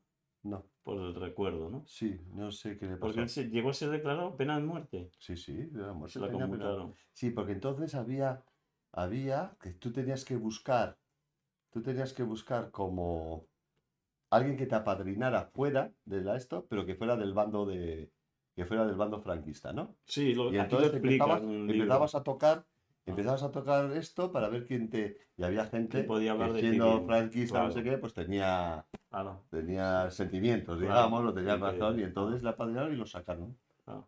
Tanto Sí. a mi abuelo como a mi padre. Eso en el libro pasa. eh, habla de eso, de- del Madrid de, de la posguerra civil y todo esto, y habla de, de que, claro, tenías que. Un poco. de- eh, este se centra un poco en, en los porteros de las fincas, Ajá. que, claro, que eran los que más conocían a, a la gente, ¿no? Y entonces ah, hubo muchos porteros que salvaron y, a- y otros bueno, que, mucha que gente. por una informa, informe Sí. eh, negativo negativo le, le ha- le ha costado esto. sí, la vida. Y entonces me parece, que en casa se comentaba, pero no sé si era una, unas chicas que eran dos hermanas, pues no sé si eran de Sevilla, no sé qué. Y entonces tenían que presentar unos informes, tenían que presentar historias para, para avalar que esa persona, pues que era, era, era, era buena persona. Hostia, mira, dice que Alfredo dice, Alfredo, ¿te acuerdas que te dije Sí. que no se me ha escrito Alfredo? Dice, pues conocería a mi abuelo, que era chofer de José Antonio Aguirre. Joder, mira. Seguro que se conocían, Seguro. claro, tu padre, si él Seguro, era seguro. motorista y... Sí, sí, era de los que y- pues, y- acompañaría claro. al chofer o al, Claro, coche claro, oficial. Claro. Pues ellos irían allí con la, ¿a quién, me, ¿Quién me había hecho raid, gente? Eh, que- del Gran Salvador. Vale, es- muchas es- gracias. No sé, me- alguien que nos ha hecho raid, ¿Pero qué significa eso? que alguien nos ha mandado a su gente para aquí. Ah, Alguien nos ha mandado, no sé quién has... Juli, no me has dicho nada. Le he agradecido yo la otra vez. ¿Quién era? Ay, no. Vale, vale. Vale, muy bien. Vale. estoy- ¿En qué parte de Asturias no estamos? No, estamos en eh, Ticio Raya Murán. Eh, estamos en Lequeitio, no estamos en Asturias. Habíamos estado en Asturias, hemos estado en Suances y ahora estamos ya en Lequeitio. Bueno, Vale. Salvator del Gelo Romero con ¿Puedo Levandos. ¿Puedo hacer un comentario? Sí, no. ¿Qué? Estoy un poco preocupado. ¿Qué ha pasado? Porque mi chica, mi pareja actual, Oh, no sigue, no sigue. Veo que está ahí jugando en el móvil, no sigue esta conversación. No, ya, bueno, Creo que muy no poco. le interesa una muy mierda, poco. ya lo veo. Y a Julita tampoco. Entonces mi pareja actual igual deja de ser mi pareja actual. Ya, claro. Está- bueno, llegar a pasar a una pareja que Una, tuve, esto, eh, una novieta. Una novieta. eh, que. Y además le llamaré como mi madre, Carmele. De- La ya no nena, será Ele- na- ya no será la nena. na- la nena Elena, ya no No, será, la será. Carmele. Que te calles, Carmele. Bueno, entonces volvemos eh, otra vez a, a- para eso estabas comentando de la guerra, ¿no? Que Sí. No sé qué te interesaba. Sí, no, eso, de que de, de anécdota, porque no quería hablar, claro, el recuerdo era tan negativo. Sí, que- exacto. No, no, no hablaba. Lo único que tenía, bueno, que en casa, pues No. entonces eh, todo esto que hemos vivido durante años de, de España y los vascos o, Sí. o contra no era contra España era contra Franco y su, y Sí. su régimen no Sí, y entonces él no podía me acuerdo entonces en la 2 el UHF solo había UHF, cadena sí. no sé qué y en UHF, cuando acababa la emisión pues salía una bandera de España con el, con el himno sí. hostia lo veías que se ponía enfermo se ponía enfermo Pero entiendo que de- no era un problema anti-español. No, no, no, no, era- además, o sea, pues que Había había, trabajado y si no, era un su poco- padre también, claro, o sea, mi abuelo también había sufrido mucho. claro, claro. Porque luego, en cambio, cuando te hablaba, joder, era, era, era, era, mi padre era muy culto. Y entonces, por ejemplo, en temas musicales le encantaba la, las, las bandas militares. Y le encantaba todo lo que fue la zarzuela, todo esto que era como, bueno, en aquella época era muy, muy, muy español, ¿no? Sí, sí. Y, y ya te digo, pero se ponía enfermo. Y era un tema que él lo tenía, bueno, como quisiera hacer el borrón Pero tampoco nunca nueva. se intentó Nunca. hacer, eh, ¿no? Bueno, sí, en casa, a ver, el tema eso estaba claro, ¿no? sí. Pero, por ejemplo, todo el movimiento que hubo luego de tal era contrario a eso. O sea, era contraria Con a la lo- violencia de A la violencia, pues sí, sí, sí. Ah. Siempre había dicho, bueno, esto es un dirán del país.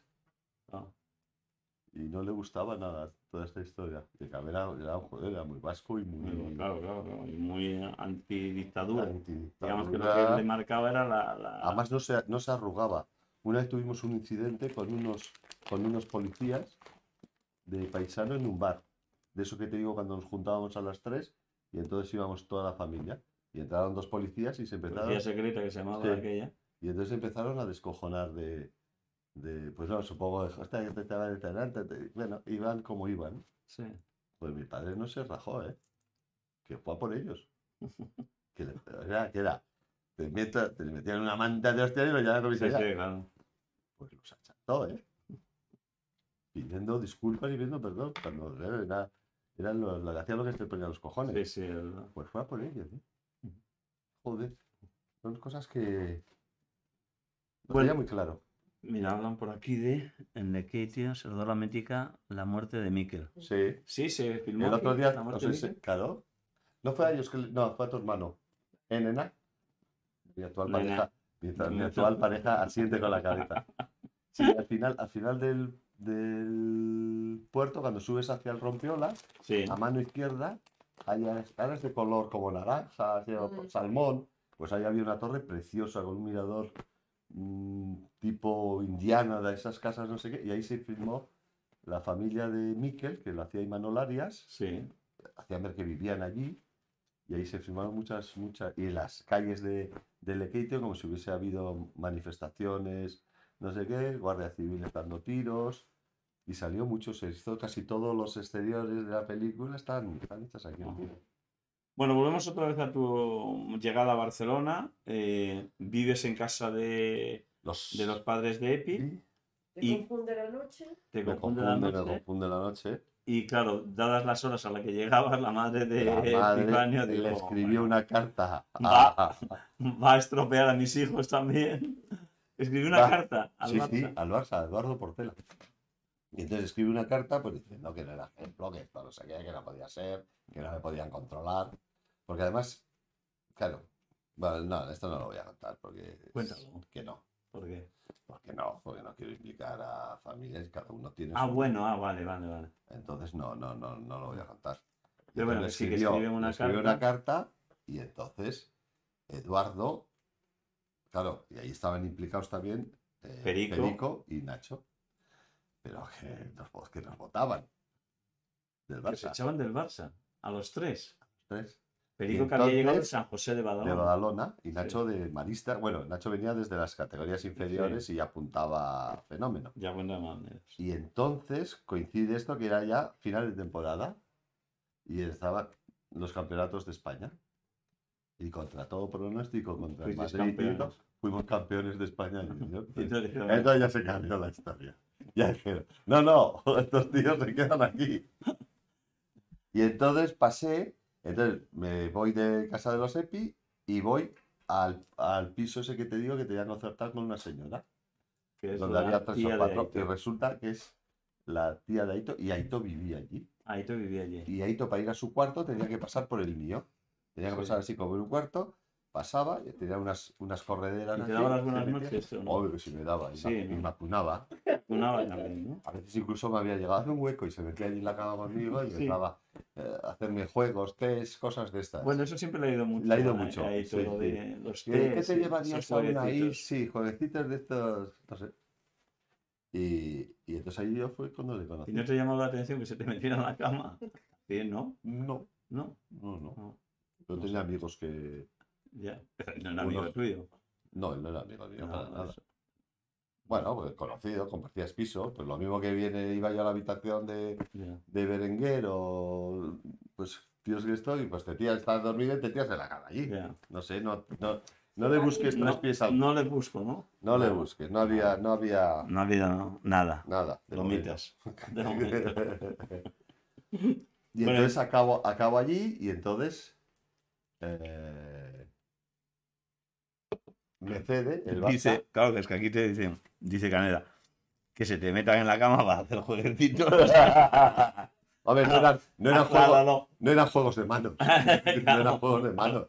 Claro, que- Claro, que- que- juegos de- después, claro, dicen de mí que tal. Este. Yo he dormido con Rubén, efectivamente, ¿Ves? correcto. Pues Yo he dormido la misma. Oye, y con Luis Canut en ¿Eh? una habitación de matrimonio, no de matrimonio, que encima estaba, se doblaba para adentro, culo con culo, ahí estuvimos una noche en Limos, o sea. Pues no es mi caso. No. No es mi caso. Vale, vale, vale, vale. Y entonces ahí acaba la temporada, yo me vuelvo, me vuelvo a, a Bilbao de vacaciones y entonces volviendo en agosto, el club, el Barça, Eduardo me dice que me ceden Al cotronificio. al cotonificio. Ajá. Y entonces el cotonificio, no, entonces era círculo católico. Sí, Sí, bueno, lo que- que- Y en el círculo católico entrenaba Aito, que supongo que Aito fue... claro. Porque que- entonces seguía quería. mucho los campeonatos, seguía mucho a la gente joven y tal. Porque tú cuando Y ya conoces a Aito, él ya había dejado de ser jugador. Sí, sí, ya había estado incluso un año había sido anterior. entrenador del ya- junior del Barça o del juvenil, Sí. ¿no? Y Claro. entonces, y, pero el año anterior ya había entrenado al círculo. Al círculo, claro. Vale. Que jugaba Costello, ¿no te acuerdas? Sí, Aquel Costello. que luego se casó con una de. Badalona. Fran Costello. Fran. Costello, sí. Y entonces me viene y entonces me voy al primer, bueno, me ceden allí estoy en Badalona. Sigo viviendo en ese piso de de, De Paseo de de Paseo de Gracia. Con lo que no me lo quitaba de encima, pero me- no sé quién ha sido el otro, no me lo quitaba de encima en el sentido de que nos veíamos siempre. Maldita. sí, aquí hay, hay que ir con mucho cuidado. Sí, sí, aquí hay que aclararlo todo. Y entonces vuelvo allí y hasta que me viene el presidente y me dice, joder, estás desplazando Tallada. tallada y me dice, coño, me vente aquí al, a vivir de momento al hotel de ahí en la Rambla de Badalona, o sea, playa, tal, además ¿El yo- Miramar? Hotel No. Miramar, Sí, correcto. el Miramar. Claro, yo pensaba que era Badalona, pues me pensaba que era pues la costa, playa, digo, joder, Claro. esta es un, la noche me va a seguir confundiendo. Claro, claro. Y me acuerdo que me vuelvo con todos los trastos en un taxi y lo primer- nada más llegar al hotel, bajo y además es que estoy viendo la cara del conserje. Era un señor bajito con unas gafas, así como muy... Buena nit, noches, buena nit". nit, buena... Tal, tal, era como muy educado. Y, me- y claro, yo vamos, le digo, oye, y aquí, aquí, tomar una copa para esto. Y me dice, no, no, aquí no, aquí está muy muerto todo. Estás muerto, aquí la cosa. Dice, como mucho, pase usted las vías del tren. El Titus. No, el Titus era la discoteca está cerrada. Claro, no, Estaba cerrado solo el fin de semana. el, ¿no? el Pestecán, Ah, claro. que era bajando unas escaleritas. Sí. Y digo, ah, vale, pues voy al Pestecán. Joder, justo un camarero que luego con el tiempo había trabajado en el restaurante de Olear y de, y de Judith. Y hablando, y entonces él era de Bilbao. Y lleva no sé cuántos miles años allí. Y había dos tías. No, tres. Y un tío. Estaban las hermanas que luego les bautizamos como las hermanas Karamachov, que eran dos gemelas. Y luego estaba la maña, una que tenía un bar que era el maño, y entonces ella era la maña. Allí tomo, me tomo dos cubatas y me voy a dormir. Y día siguiente a entrenar. Y estoy. Llega, llega Hito y hace. Que hacía así y empezamos a dar vueltas, ¿no? Calentamiento. Me da dos vueltas y me hace. Me llama. Y yo. ¿qué? Y me dice, ¿qué tal? ¿Cómo va todo? Y ya. bien, ¿ya te has instalado? Y le digo, sí, sí, ayer me instalé. Y me dice otra vez, ¿pero ya te has instalado? Claro. Digo, Como lo sabe. ¿cómo lo sabe, no? Y me dice, días- llegaste a tal hora, fuiste aquí, tomaste dos copas, y dice, chaval, para que sepas dónde estás. y ahí tomé la decisión que nunca Más ibas a yo viví Badalona. en Badalona, no sé, 20 años, por decirte una, una esto. Yo no sé las calles de Badalona. Donde vivía, las principales, dice, sí, ya sé lo que tengo que hacer. A Barcelona, que estaba a 14 kilómetros. Claro, claro. Claro. Desde ahí no vas a pillar. Y ahí te encuentras también a. Ahí conoces a Juan, a Juanito, nuestro. A Juanito, cuñado, que era el segundo de... Sí, el hermano de Julita, ¿no? Que era que segundo ahí director. también empezó él a confundir la noche también. Sí. Éramos dos cubanos ahí. Mi hermano le confundía también. Sí, sí, sí. Noche se confundía. Y ahí ya te debes plantear decir, bueno, igual sí que voy a vivir del baloncesto, porque Sí. estudiar ya no estudiaba. Sí, sí, no, no, ya O dejé. sea, eh, ¿Dejas de estudiar cuando vienes a Barcelona? O, No. o aquí todavía hago, sigues. hago, hago... ¿Vienes a Alpe también? ¿Perdón? ¿Viniste Alpe, Alpe? porque claro. me quedó una deco del colegio, entonces la hice y hice la, la selectividad. Ah, Porque mi idea entonces seguía siendo Claro, matricularme en medicina. Claro. Y, Y hice la selectividad. sí, y luego ya... Y bueno, ya empecé con el, con el tema de- del básquet, ahí sí que empecé, ya movía algo de dinero, Claro. y entonces... pues, ¿Tú te acuerdas bueno, del primer sueldo así? eh, sí. Bueno, el primer sueldo, yo ya en el CAS con 16 años, Ya te pagaban algo. ya ganaba 250.000 pesetas de ¿Cómo? aquella época. Joder, Más, Mucho. más los estudios y todo lo que generaba los estudios. O sea, si yo tenía que comprar Una 250.000 enciclopedia de no sé qué. eso, ¿eh? me era el CAS y hacía, sí, era mucho dinero. Con 17 años. Pues para que te hagas 20 una idea, 25.000 Y pesetas para al que. ¿eh? claro, para lo que, para que se hagan una idea de los chavales, mis padres, el primer piso en Barcelona, vale, era el 66, era un poco antes de esto, pero me parece que les costó ciento y pico, 150 mil euros, 150 mil pesetas o por ahí, o sea que, Sí, sí. que ya con Y cuando 250 fui, mil y podías cuando comprar un fui al. Junior, al Junior del Sí, Barça, era- Con Ahí la 250 mil al año, tú te comprabas un apartamento. Que cojones, pero si él vivía en su casa con sus padres joder, y era- ganaba 250 mil pesetas, pues se podía- comprar Bueno, un tampoco, apartamento. tampoco las ganaba yo, ¿eh? todo, iba para casa. ¿eh? No sé, Ya, por ya eso, por eso digo, por eso digo. Sí.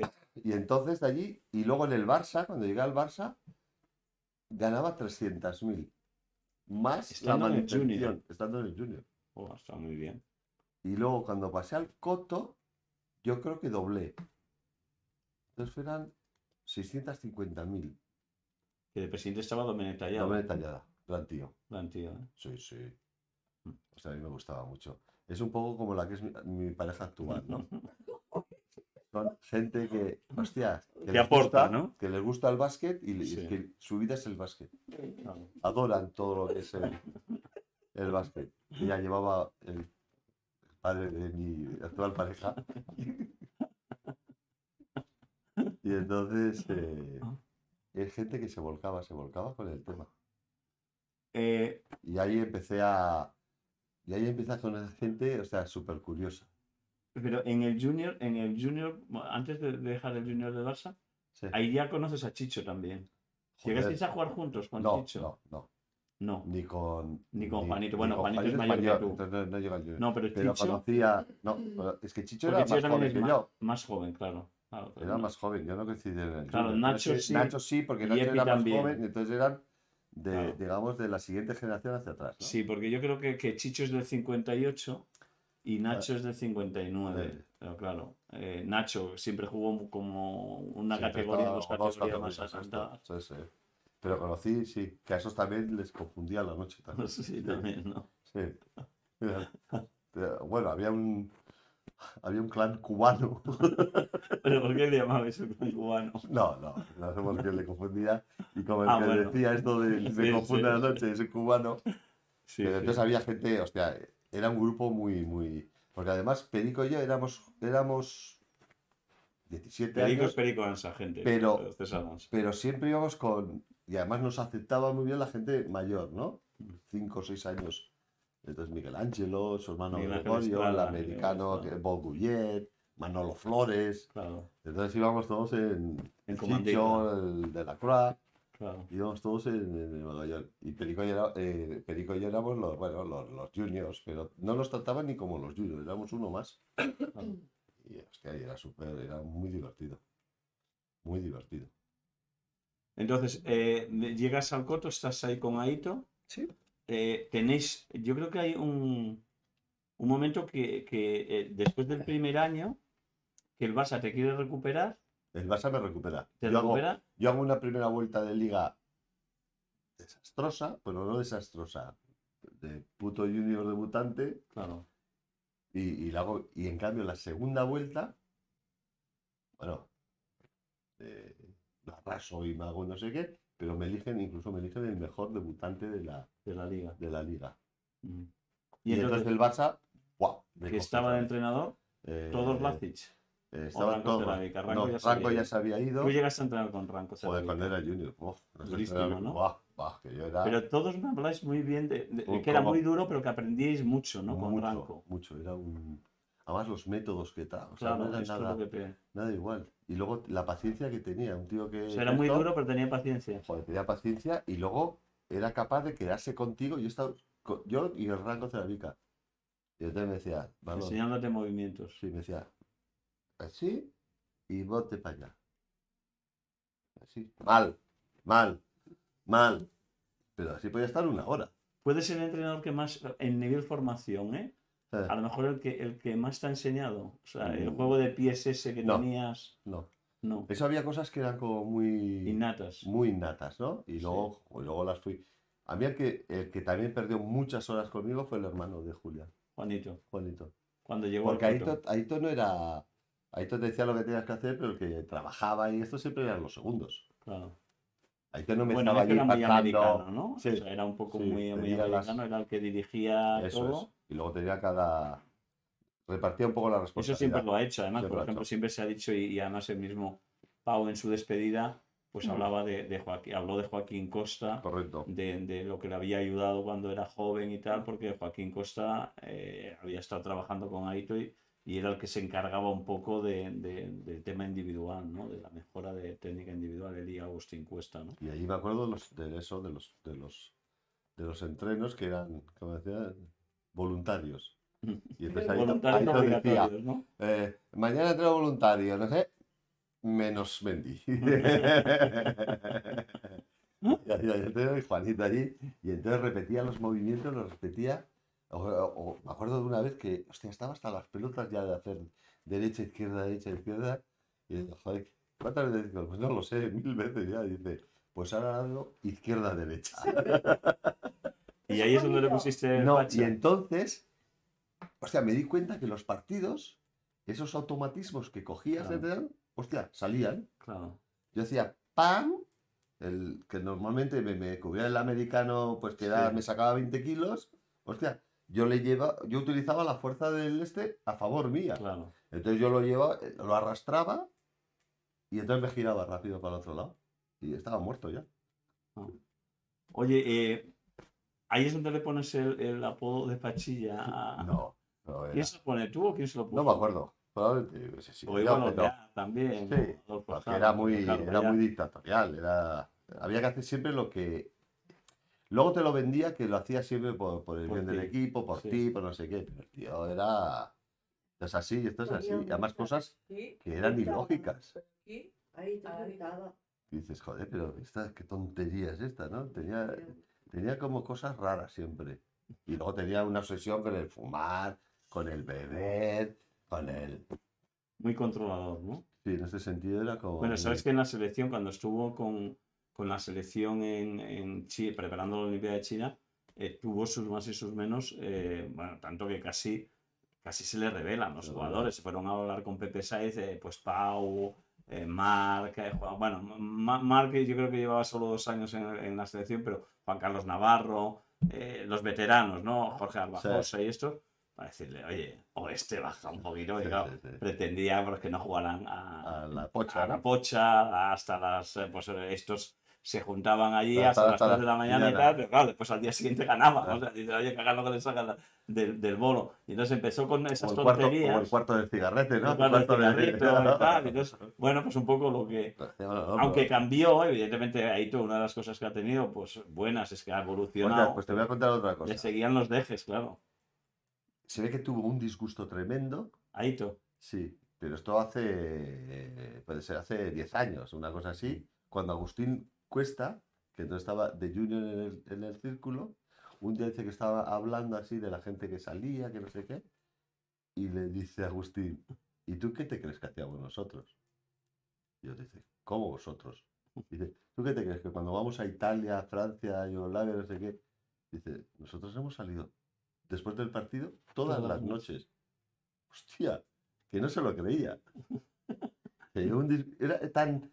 Pensaba que era. O sea, ¿sabes estas personas que piensan, soy tan perfecto, digo las cosas y. y- y no, no llegaba a pensar Que se la podía exacto, que se la estábamos metiendo. Claro.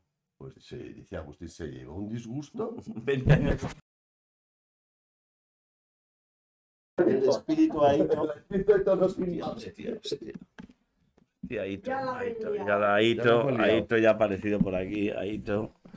Aito, perdona, ya no hablamos más de ti, Aito, no te preocupes, tranquilo. Rui, gracias, Runi, gracias por eh, suscribirte, crack. Eh, vale, entonces... eh, Espérate un momento, ¿la gente está, se lo está pasando bien o sí, hombre, oye, estamos en 1500 personas, o sea, Joder, está muy bien, joder, está muy bien, muy Tiro la bien. ginebra, te pide cariño. Deja el micro, por Dios. Ahí te deja el micro, correcto. Siro la ginebra. Pues se Sí, llevó un porque aquí hay disgusto mucha gente de tremendo, ¿eh? claro. Tremendo, se llevó un disgusto de la hostia, dice Agustín. Y que no solo que dice, que es joder, dice. que- pero siempre después del partido, ¿eh? nunca éramos Sí. de escapar. En ese sentido, no, pero después del partido, yo me he recorrido tugurios de. En ese sentido, por ejemplo, ¿tú entiendes, por ejemplo, lo que hizo, lo que hizo Pablo en el último, el, el incidente con Trey Sí, Tompkins? sí. eh, o sea, Yo no- esto yo es un no- poco, no es admisible, ¿no? No. Eh, que un Y, tío, y, joder, el te lo digo yo, claro, el día antes del partido. chico, te lo digo yo. ¿eh? claro, No, no, antes de un partido jamás en la vida. Pero en la vida. claro. Oye, entonces, volviendo otra vez a esa etapa del Coto, hay un momento que entonces el Barça te reclama ¿Correcto? Y ficho, Pero- y ficho por el Barça. y fichas por el Barça. Sí, y ficho por el Barça y entonces me junto, encima me junto, Con todo Orlazi que estaba, estaba era- todo, era todo y entonces me junto con, la, con los que eran mis, mis colegas. A ver, y en el Coto el primer año, te he dicho antes que conocí gente increíble. y Claro. además ¿Quién estaba? Adolfo Sada. Posada, Os- Pascual, Olear. Olear. que era como mi padre deportivo, Claro, el Agus, claro. Joaquín, gente, que Joaquín, de enano estaba, ¿no? Era Ame- jovencito, Tony Ameller. y había gente, y luego el americano de turno, que tuvi- teníamos el primero que No, y había alguien que. Gerard eh, eh. Pelotas. Y César Galcerán, yo creo. que No. César después. yo ya estaba en Granollers. Ah, Héctor. Pelotas, Héctor claro, Pelotas. Bueno, con Héctor Joder, cosas Héctor, geniales. bueno, Héctor, bueno, bueno, porque era, entraba, entraba, era, Era muy inocente, ¿no? mm, sí, era un noble de aquellos Muy que noble, se picaba y bueno, entraba, y, y- y la antítesis de él era Agustín Cuesta. Que no Agustín, desconfiaba de todo. no, no, Agustín, Agustín pasaba vergüenza y entonces me decía, hostia, no lo provoques, no le digas esto, no lo hagas no sé qué. Explica alguna de estas. Eh, yo, yo tengo dos así en el recuerdo que las has explicado. Había, había una discoteca en, Barce- en Barcelona que siempre que hacíamos alguna cena Héctor equipo- fue jugador de estudiantes y jugó muchos años en, en- en- el cotronificio de Badalona. Yo creo que empezó en estudiantes, fue a No, Badalona. en el Inca. O en el Inca, fue a Badalona. Había empezado a rugby. a rugby. claro, Luego estuvo porque- en el Inca y del Inca vino a, a- al Coto. Y después se Y fue al del Coto estudiantes. al Estudiantes. Y ahora, por ejemplo, ahora es, a- es- él es aparejador, yo creo, No. ingeniero, Eh, geólogo. geólogo. Y ahora me creo que vive en Cuenca o por ahí. me No parece. tengo ni Sí, idea, yo le he perdido la, la pista. Bueno, la gente que seguía el baloncesto de hace muchos años sabe quién es Héctor Perota. Entonces, eh, cuéntanos, cuéntanos la de. Pues esta, esta es la discoteca. Entonces, siempre que quedábamos a cenar, no sé qué, pues luego nos, pues nos íbamos a tomar copas. Y un día había una discoteca, es que estoy intentando acordarme de la discoteca.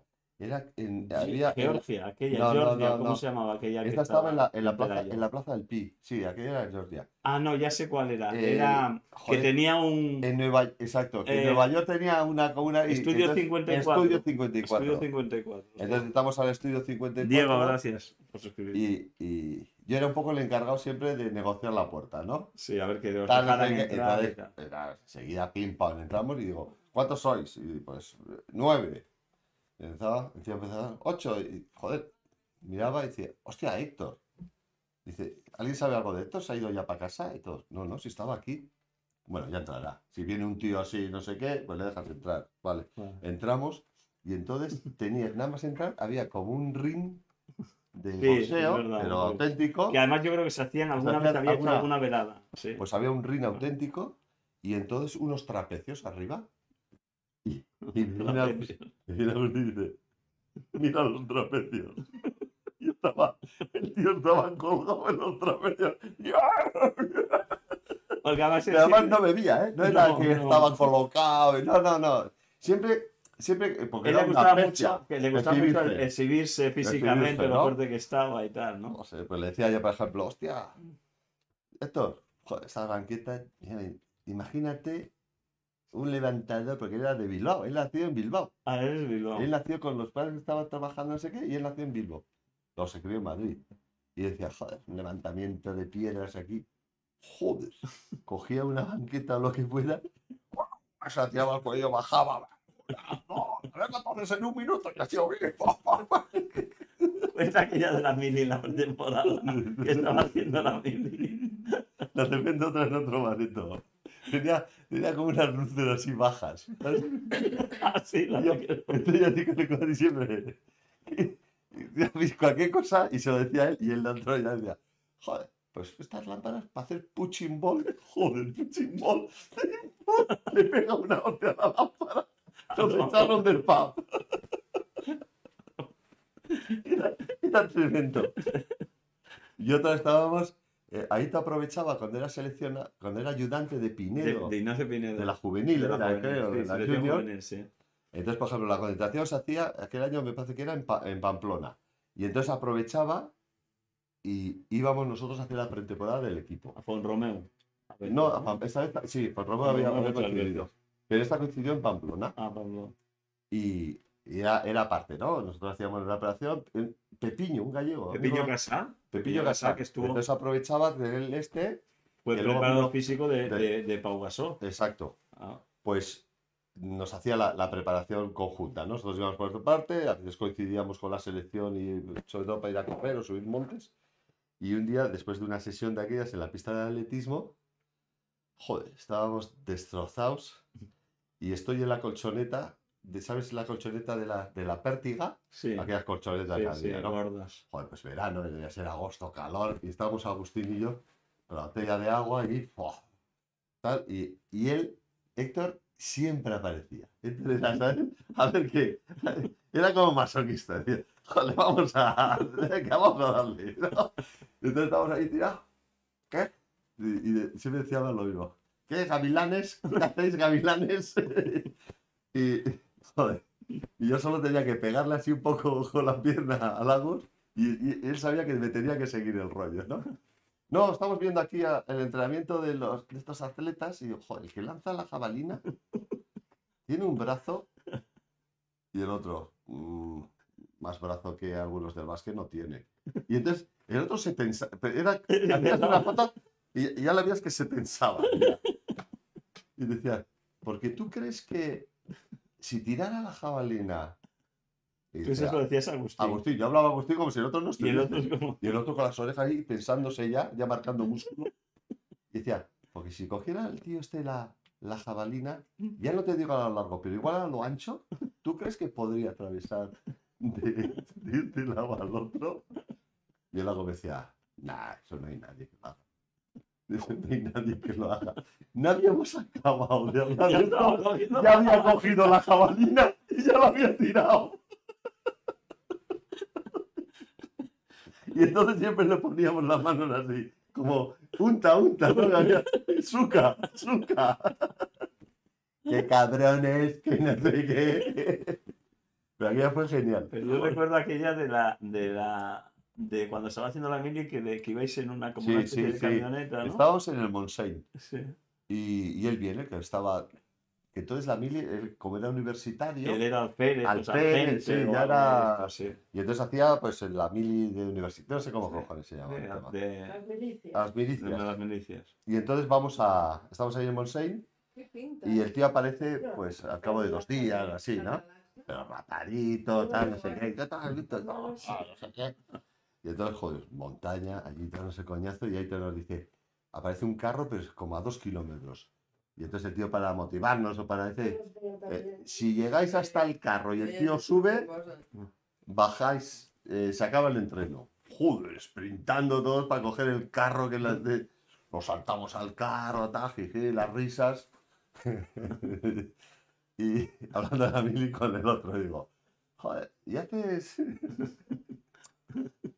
sesiones de tiro, pero real y tal. Sesiones de tiro. Y de repente, mira, era eso, es que era automático. De repente se tira del carro en marcha, pega una voltereta, pero tú imagínate el piedras, allá había grande. Él era da igual. Pega una voltereta, coge la posición como si estuviese disparando, pa, pa, pa, pa, pa, vuelve a correr y se tira, y se tira el carro otra vez. Claro. Yo creo que lo hizo tres veces. Mm, no, no, no, no ha salido bien, Héctor. ¿Cómo que no ha salido bien? ¡Pum! Voltereta. No, joder, que se va a matar este tío. ¡Pum, pum, pum, pum! ¡Uh! Otra vez al carro. Has tardado mucho. Joder. Y le hacías mil, le hacías mil de estas. Y ya Otro eh, día- la última de pelotas cuando, La- la- cuando el nacimiento de la niña me la Oh, bueno, luego te lo cuento. Sí, Eh, Una también era, porque era muy, también era muy divertido, Héctor. sí. Entonces las esperas de, de aeropuerto, ¿no? Por ejemplo, que era un coñazo, las maletas y no sé qué. Y un día el puta, ¿sabes aquellas cintas que había que salían las maletas? Sí, Y luego entraba por una ventana con aquellas tiras con de plástico tiras, bueno, sí, y, entraba y, y- y seguía dando vueltas, ¿no? Seguía dando vueltas. En una estábamos ahí esperando la maleta y por donde salían las maletas sale él.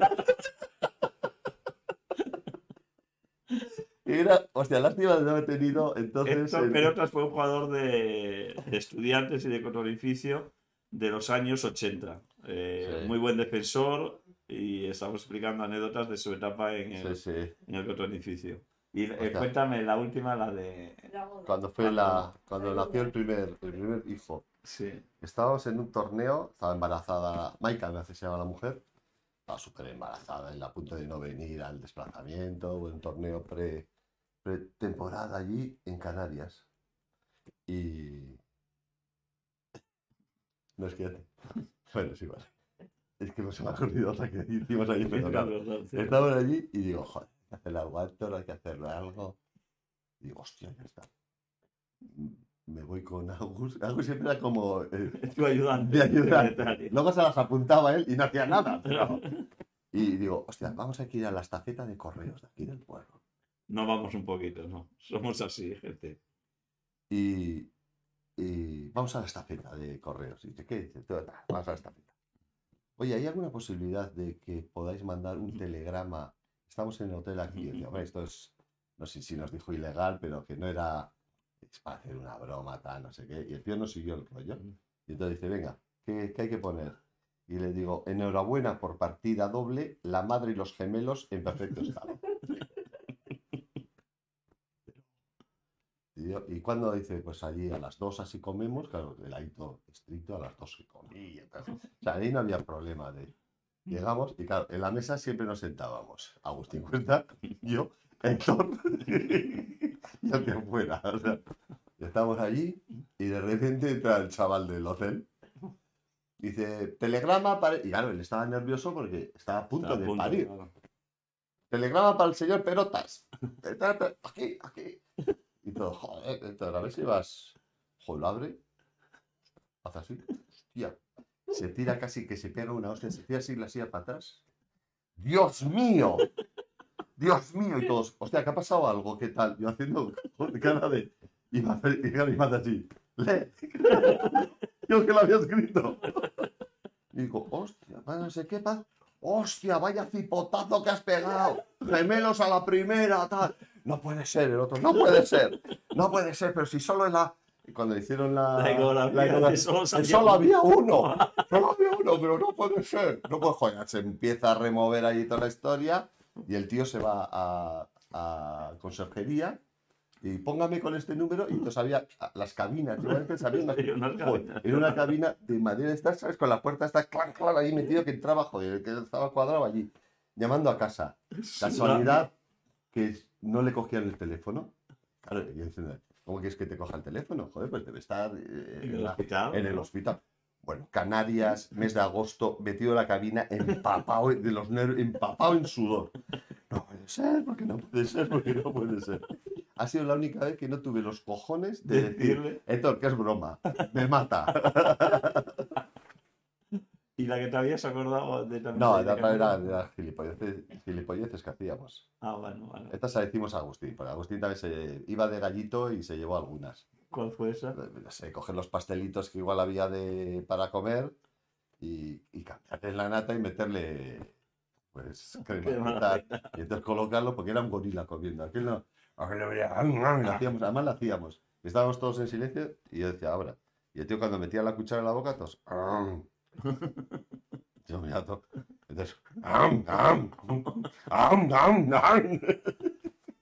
Y entonces, claro, cogía los pasteles, hace así, Joder, todos mirándole.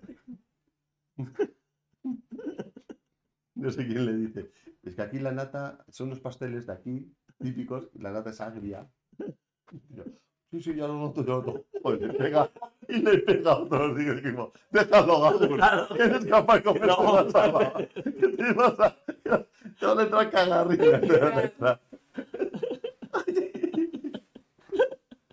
Oye, eh, en- en- yo creo que eso, el, el baloncesto y el deporte han cambiado, ¿no? Sí, Yo creo que es, que es menos divertido. Igual es. se ha profesionalizado más mu- profesional, mucho ¿no? más. Claro.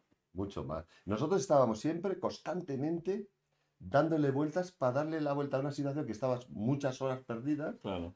muy de hotel, muy no sé qué, pero había que buscar algo para, joder, para reírte y para Claro. pasarlo bien, ¿no? Y siempre la cabeza la tenía Porque- en los viajes. Porque, por ejemplo, qué. Trotsky, Javi, eh, tu hijo, que ha jugado también en División de Honor, en Sí. Menorca, ha jugado en Estudiantes y esto, No, él, por ejemplo, eso ya no lo ha vivido. no, no lo vi. Él no y te- encima, claro, ha conocido a todos estos. Claro. Porque en casa estaban siempre, Claro. de chaval, no sé qué, y conoce todas estas aventuras y tal. Ah. Y eso a veces me lo solía decir. Hostia, es claro, es que vosotros os, os- nosotros es como muy. Llegan a tal, joder, vuelos charter, claro. Pero incluso Nosotros nos jugadores de equipos rivales. Joder, O siempre. sea, por ejemplo, de, de, de, de- de juntarte Siempre. después y salir. Ibas a jugar a, a Ferrol, Claro. y ahí estaba Ernesto Delgado, eh, Moncho, Mocho, entrenador, tal, no sé. Y estabas calentando y decía, ¿en qué hotel estáis? El de siempre. Vale, después del partido no, os vamos a buscar. Claro. el partido de la cara de perro, pero luego a, a las 11, 11 y media le- estaban, estaban dos o tres jugadores y nos llevaban pues a donde, donde se movían ellos. Claro. Oye, volvemos otra vez a lo del, a lo del Barça. Entonces, eh, te ficha, te recupera el Barça, firmas Sí. con el Barça. ¿Y qué pasa hacemos, ahí? hacemos una... eh, nos vamos a Alp a hacer la preparación Ah. física, a Gerona, Y hacemos una gira por Europa, pero estuvimos como un mes, pero Alemania, Holanda, Bélgica, Italia, Mallorca y acabamos en Bilbao. Ahí está ya Chicho, Juanito. todos. Juanito, Perico, eh, Manolo, Se trae a mi, se ficha Miguel Ángel Estrada aquel año, Miguel Ángel, vale. viene Víctor Escorial. Miguelito ya se había ido. Miguelito, no, allí estaba, no, Miguelito estaba en aquella gira. Ah, estaba.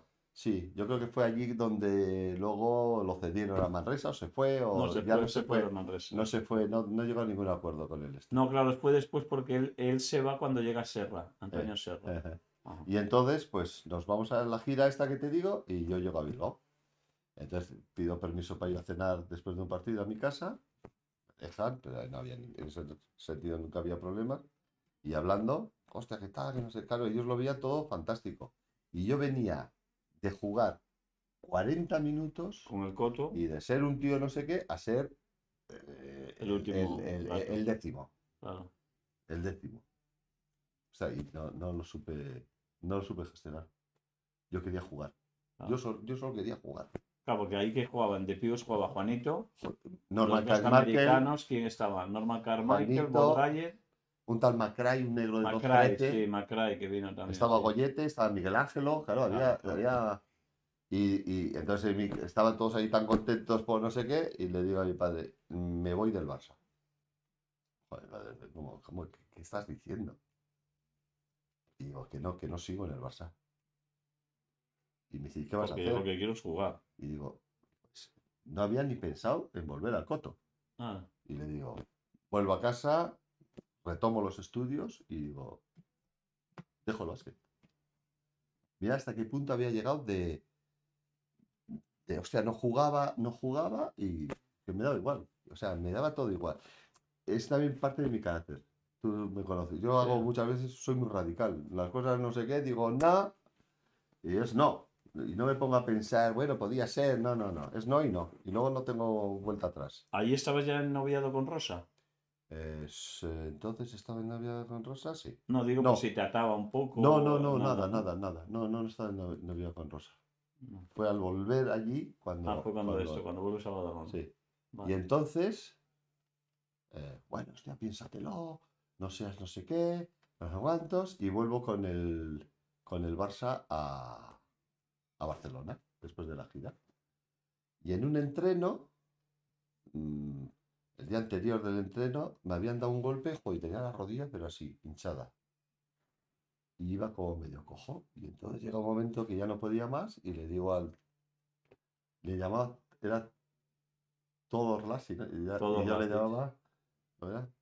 Tor- un tordo. Un tordo es una Sí, cagada, tordo, un- sí, un ¿sabes? tordo. Y era tordo. Digo, tordo. Digo, es que me duele. Joder, y me empieza a meter un chorreo el tío.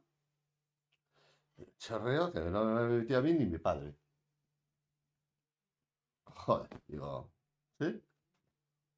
¿Te acuerdas el palao que tenía aquella, aquella puerta que se abría, que era Sí. como en esto?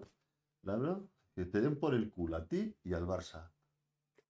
Y Manolo Flores detrás. No seas loco, venga, pídele perdón. Que Manolo era el ¿perdón? capillado, ¿no? Sí, que no, tío, perdón, yo a este tío digo que no, Manolo, digo, que me voy a mi casa, lo dejo. Y entonces estoy en la ducha, baja Eduardo Portela, Ramón Ciurana, que eran los directivos. No seas así. Oye, tío, que no, que ha sido un que no, eh, que no, que no, que me voy por mi casa. Ya está, se ha acabado esto. Y entonces estaba viviendo en el Hotel Miramar todavía de Badalona del primer año. Y claro, eso corrió como, como la pólvora. Y se presentan Aito y, y Domènech. Tallana, el- que era el presidente. del Coto. Sí, que te- aquí te puedes jugar, que no sé qué, que replantéatelo. Y pa, pa, pa, pa, me empieza a dar esto y me convencen. Y va, cabrón que era medio pirata, el Domènech. Domènech y ya tenía la ficha. Digo, firma. y decía, joder, Domènech, si tengo ficha firmada con el Barça, ¿cómo quieres que firme otra ficha? No pasa nada. Claro. 19 años, pues no tienes ni puta. Digo, joder, firmo. Buah. Se monta Duplicidad una de ficha. duplicidad de fichas. El Barça que me quiere, que quiere llevarme hasta el final, la- hasta las últimas consecuencias. Y entonces tuvieron que reunirse las dos directivas y, y- y hacer un comunicado. El Barça pues era un club ejemplar, que no sé qué, bueno, una, una historia. Y había una revista en Badalona que se llamaba El Eco El Badalonés. Eco Badalonés, sí. Portada del Eco Badalonés salgo yo. Y lo primero que digo, los directivos del Coto se han bajado los pantalones. Una detrás de otra. Estaba sembrado aquel verano. El laguito que brillaba, pero ¿cómo puedes decir eso? Joder, con el esfuerzo que han hecho ellos para, para sanar la situación. Y entonces, no, el Barça, ¿sabes por qué se mosqueó? Porque llegué a jugar un torneo, eh, ¿sabes en la calle Ledia que había aquel pabellón, El que se Palacio de los hacía los- el. Palacio de los Deportes? ¿Sigue este todavía? Pues allí jugué un torneo. Y, Con y el decir- y después me puse a y eso al Barça le sentó como un tiro. Claro, Porque no habían llegado a ningún tipo de acuerdo. claro, claro. Y, y bajado los pantalones, bueno. Y entonces agarré como una especie de, no sé si era una gripe, una, una historia de estas, y me, y me fui para Bilbao. Y estuve allí cuatro días así, y, y volví y ya me reincorporé al, al, al coto. Al Coto. Vale. Chistorrita, ¿qué pasa? Aquí te esperamos. eh, claro, pues que dice que solo puede venir el domingo. Chistorrita, dice Gabón. Sí, sí, Gabón, Claro, Chistorrita, macho. Chistorrita, te Estoy esperando-. Estoy esperando los, los chipirones De encebollados. todos y no modos, sé. Chistorrita, como vamos a ir a. Igual vamos a Donosti, ¿no? Sí, Eh, nos tienes que decir dónde estás y vamos a verte. Chistorrita, y vamos a ver qué tal. y preparar unas nécoras o prepara una, una cosita. tontería. Bueno, algo, algo que cocine bien. Sí. No, que le Dijo pongamos que los chipirones los hacía. Me Por eso, que dijo que chipirones. los chipirones los hacía bien. chipirones. sí, sí. Chipirones encebollados. Sí, o algo así que esto es chistorrita, ¿vale? ¿Vale? Vaya profesional de la U. ¿Por qué me decís eso? Joder, estoy Vaya. de vacaciones y sigo trabajando. O sea, mira si soy profesional. Bueno, entonces nada, te vas al coto, al final llega a un acuerdo, te vas al coto, y ahí juegas ahí dos años uno. después de eso, No juego cuatro. cuatro ahí, ¿vale? Juego cuatro. Le jodéis una liga al Madrid, Le jodemos una Liga Madrid mangada, comprada con, Mangada. con dinero, que se la lleva Juventud, claro. que empatamos. Además, me acuerdo que ¿Qué el prima partido. ahí? O, o los que cobraron fueron los árbitros. No, cobraron los árbitros. Nosotros no. Eso fue uno de los mayores veces- escándalos de esto, claro, lo cuentas y la gente dice, pero como es verdad, y eso, eso es verdad como la vida misma. no, el no, es verdad, es verdad. el 79 que gana la El Peña Madrid, el Madrid viene de ganar la Copa de Europa contra el Ignis de Vanessa. contra el Ignis. En la primera parte del partido, al Madrid le pitan 26 violaciones del. Pasos, 3 segundos. No nos había pitado en la puta vida. Y nosotros, claro, a mí esto me dolió porque, joder, nosotros, o sea, tú hay- tienes, la tiras y hay que meterla. Claro. Joder, nosotros todo lo que tiraba lo metíamos. El partido acabó 107-107. Y yo fallé, yo hice los dos puntos para empatar y luego tenía tiro adicional. no. y creo que metí 30 puntos ese partido. Y, y fallé el tiro libre, o sea, me puse a llorar como una mal. Ya que a mí no. Pero en el partido me puse a llorar, yo creo que la tensión y todo, Claro. ¿no? Pero 26 violaciones en la primera parte. Wayne Bravender. Dios en el básquet. Hacía-. ¿Cómo que Ah, ¿no se escuchas? escucha? Sí, sí, sí, sí, bueno. Eh, estoy tapando con esto. Podías comentar, mira, Lagarto está aquí. ¡Hombre! Vas a Lagartilla. Hemos contado unas cuantas, ¿eh? Hemos contado unas cuantas ya. ¿eh? Aquí está Lagarto. que salía Mendy. Yo qué sé, es que hemos hablado esta tarde con él, es verdad, pero no, sí. no sé, no, no, no, me he dado- no nos hemos dado cuenta, lagarto, de que A chillar un poco más. Que se sí que chillamos un metro, que se meta lagarto. No, es que te- no tengo el, el- esto no me funciona, Juanito, no, no sé cómo hacerlo para meterlo. Juanito, amigo. Tú saliste una vez aquí, te hice una entrevista, ¿no? Sí, A mí me ha pagado, a ti no te ha pagado, ¿no? me ha pagado tú. Joder. pero en especies le he pagado. Hemos hablado de nuestro amigo Aito un poquito, ¿eh? Eh, No, pero bien, no bien, no, muy bien, muy Bien. Solo que tenía el apodo de fachilla. Facilidad que se le metía en la habitación cuando vivía en casa de la tía, ¿eh? De coleguis. de colegis, le metía en la cama también alguna vez, la había metido, De colegui. también de De colegis, colegis. bueno, joder, pero es que hemos, hemos dicho algo que no fuera de colegis, joder, ya lo hemos explicado, pero para que lo sepa Lagarto. Lo haces con la. Sí, le das con la esto y... Le das con la mente Sí, sucia. sí, sí. Y no tienes por Sí, qué ahora... Eso seréis vosotros los que tenéis la Porque- mente sucia. No No, Estás una mente estropeando, sucia. estás Estás estropeando. estropeando una bonita Claro. entrevista. Claro, Ya está. Está muy bonita la entrevista, claro que está bonita la entrevista. no sé, la- que tienen que decir que bonitas son tus, ¿Eh? tus pajilleros. Ya estaba, ese es el amante de la mujer. Bueno, va. Y la mano de mujer. Tú, si lo dice ella, Ah, claro. Tú eres- no eres el padre de mi hijo. total, Pues ya está. pues eso. Dice, a mí me dijo que tenía piernas de ciclista. ¿Quiere Juanito? Le dijo a Ito.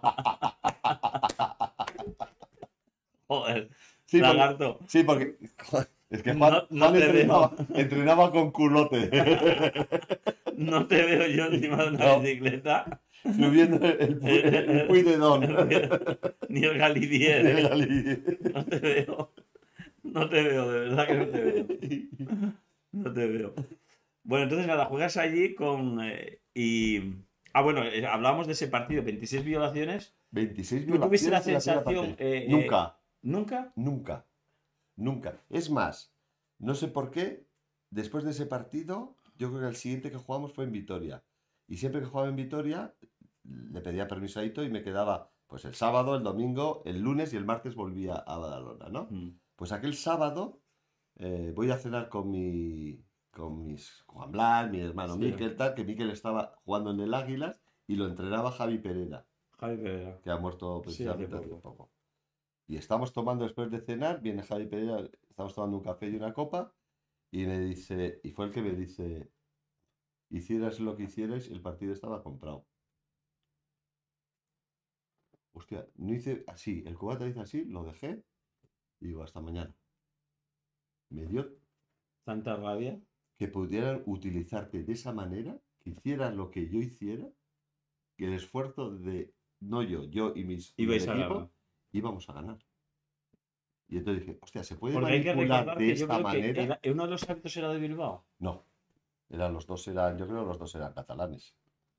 Y quien lo hizo, el que estaba comprado, era para, no te digo el nombre, pero era para, para una causa, necesitaba dinero para, para su hija que tenía, que tenía problemas. Pues Tenía que hacer un ingreso, tenía que hacer una, o una operación o no sé qué. Entonces, lo que sí sé que fueron 250.000 pesetas de la roja. No estaba mal. No, 250.000, tú cobrabas el doble, o sea, Sí. pero por toda la temporada, claro, un partido de 250.000 pesetas. ¿A Sí. cambio de qué? Pues eh, a cambio de la liga la estaban Liga. disputando el Madrid y el Juventud, porque el Barça no, ya no tenía no, no, no. posibilidades, ¿o Sí, sí? sí, espérate. Nosotros empatamos, nos le servía tanto la victoria como el empate para que el Juventud ganara. Y va el, el Juventud y pierde en Pineda. Hostia, es verdad, claro. Pierden- Y entonces nosotros, la siguiente Vasconia y la siguiente jugábamos contra el Barça. Y entonces para que fuera campeón nosotros teníamos que ganar al Barça. Y ganasteis. Y nosotros ganamos al Barça. Con Lagarto ahí. Sí, sí. ¿eh? ¿Le hiciste algún estaba- al Lagarto? no? Estaba Kuchaski, me parece, el entrenador. Dice a cambio de que no, dice. Sí, que después habláis de que el Madrid es el que compraba a los árbitros, ¿no? A saber si lo compró solo la Peña y no estabais vosotros también metidos por ahí. Tenían entonces, a- la Peña tenía al Moca. Moca Moca, hombre, Moca. A ver, tenía un equipazo. Un O equipazo. sea, la pena es que necesitara de eso para ser campeón, porque era un equipo Porque además la había, cagado, impresionante. la había cagado en eso, en, Ah, en- bueno. en Pineda, eh, pues no qué sé, No, en aquel en- equipos que en, en teoría si hubiese ganado eso no hubiesen necesitado Claro, nada. Era Zoran Slanny, Juan Ramón Fernández, Hernández, que después jugaste Pepe, con él, Pepe, Pepe Maragall, Santi, Miguel Santillana Santillana, y Miguel Joan. Pilbá. Hostia, el cinco titulares, que era un equipazo. Sí, sí, O sea, sí. que el equipo era, era un equipazo, no, no hubiera necesitado No. de ayudas arbitrales, pero, pero lo necesitó. Y luego estaba joder, Jordi Cairó, estaba Ernesto Delgado. Dice, ¿por qué le dio tantos días li- libres? Dice, eh, ahí toca, ¿por qué le dio tantos días libres? Ah, no, porque, de Vitoria iba a Bilbao, que era mi casa familiar, y entonces, bueno, pues te dejaba. eh, a veces eh, a Héctor, que era de Madrid, pues si le pedía permiso de- para quedarse dos días, pues se lo daban, no había, no había ningún problema. Además, normalmente en los lunes solo hacíamos eh, pesas. Era como, bueno, era un día. el- los futboleros que es, ¿cómo se llama? Baño y Baño y masaje. ¿no? Baño y masaje. Baño y masaje, sí. Ah, masaje. Ahora ibas a decir una cosa, pero no digas nada de los masajes. ¿eh? No, no, no voy a decir nada. Eh, que lo diga la García, si acaso. ¿Moca Slanich o Corbalán? O Yo creo que. Moca, Moca era mejor. O sea, Juan era muy bueno, pero Moca era un genio. Estamos hablando de un genio, uno de los grandes genios del baloncesto. Cuando nació su hijo, los biberones eran de Coca-Cola. sí, porque Para que estuviese siempre excitado el niño. Era un poco él, ¿no? Siempre estaba. Era, era la hostia, era la hostia. Bueno, entonces estás ahí cuatro años en, en el coto Cuatro años y, y, llega un momento que decides una. largarte. Sí, tengo ¿Por una. qué? Porque Ahí también tienes un enfrenta- Sí, tengo un enfrentamiento con Aito. ¿Por? Porque eh, esos castigos que te hablaba Sí, antes, esas De cosas subir suyas, de no Sí. sé qué. o de ponerse debajo de una. Le cogía a Agustín y decía: ¿ves el anuncio? Ponte debajo de la A esta y estate tres minutos mirando la A. Yo te decía, "Joder, pero qué tontería, ¿no? Y él siempre jugaba eh, con la psicología. Él sabía que eso a él le jodía, Agustín, a Agustín. al y jugador. entonces buscaba siempre el punto de tocar los cojones de, de- de esas maneras, ¿no? Sibilina. vamos.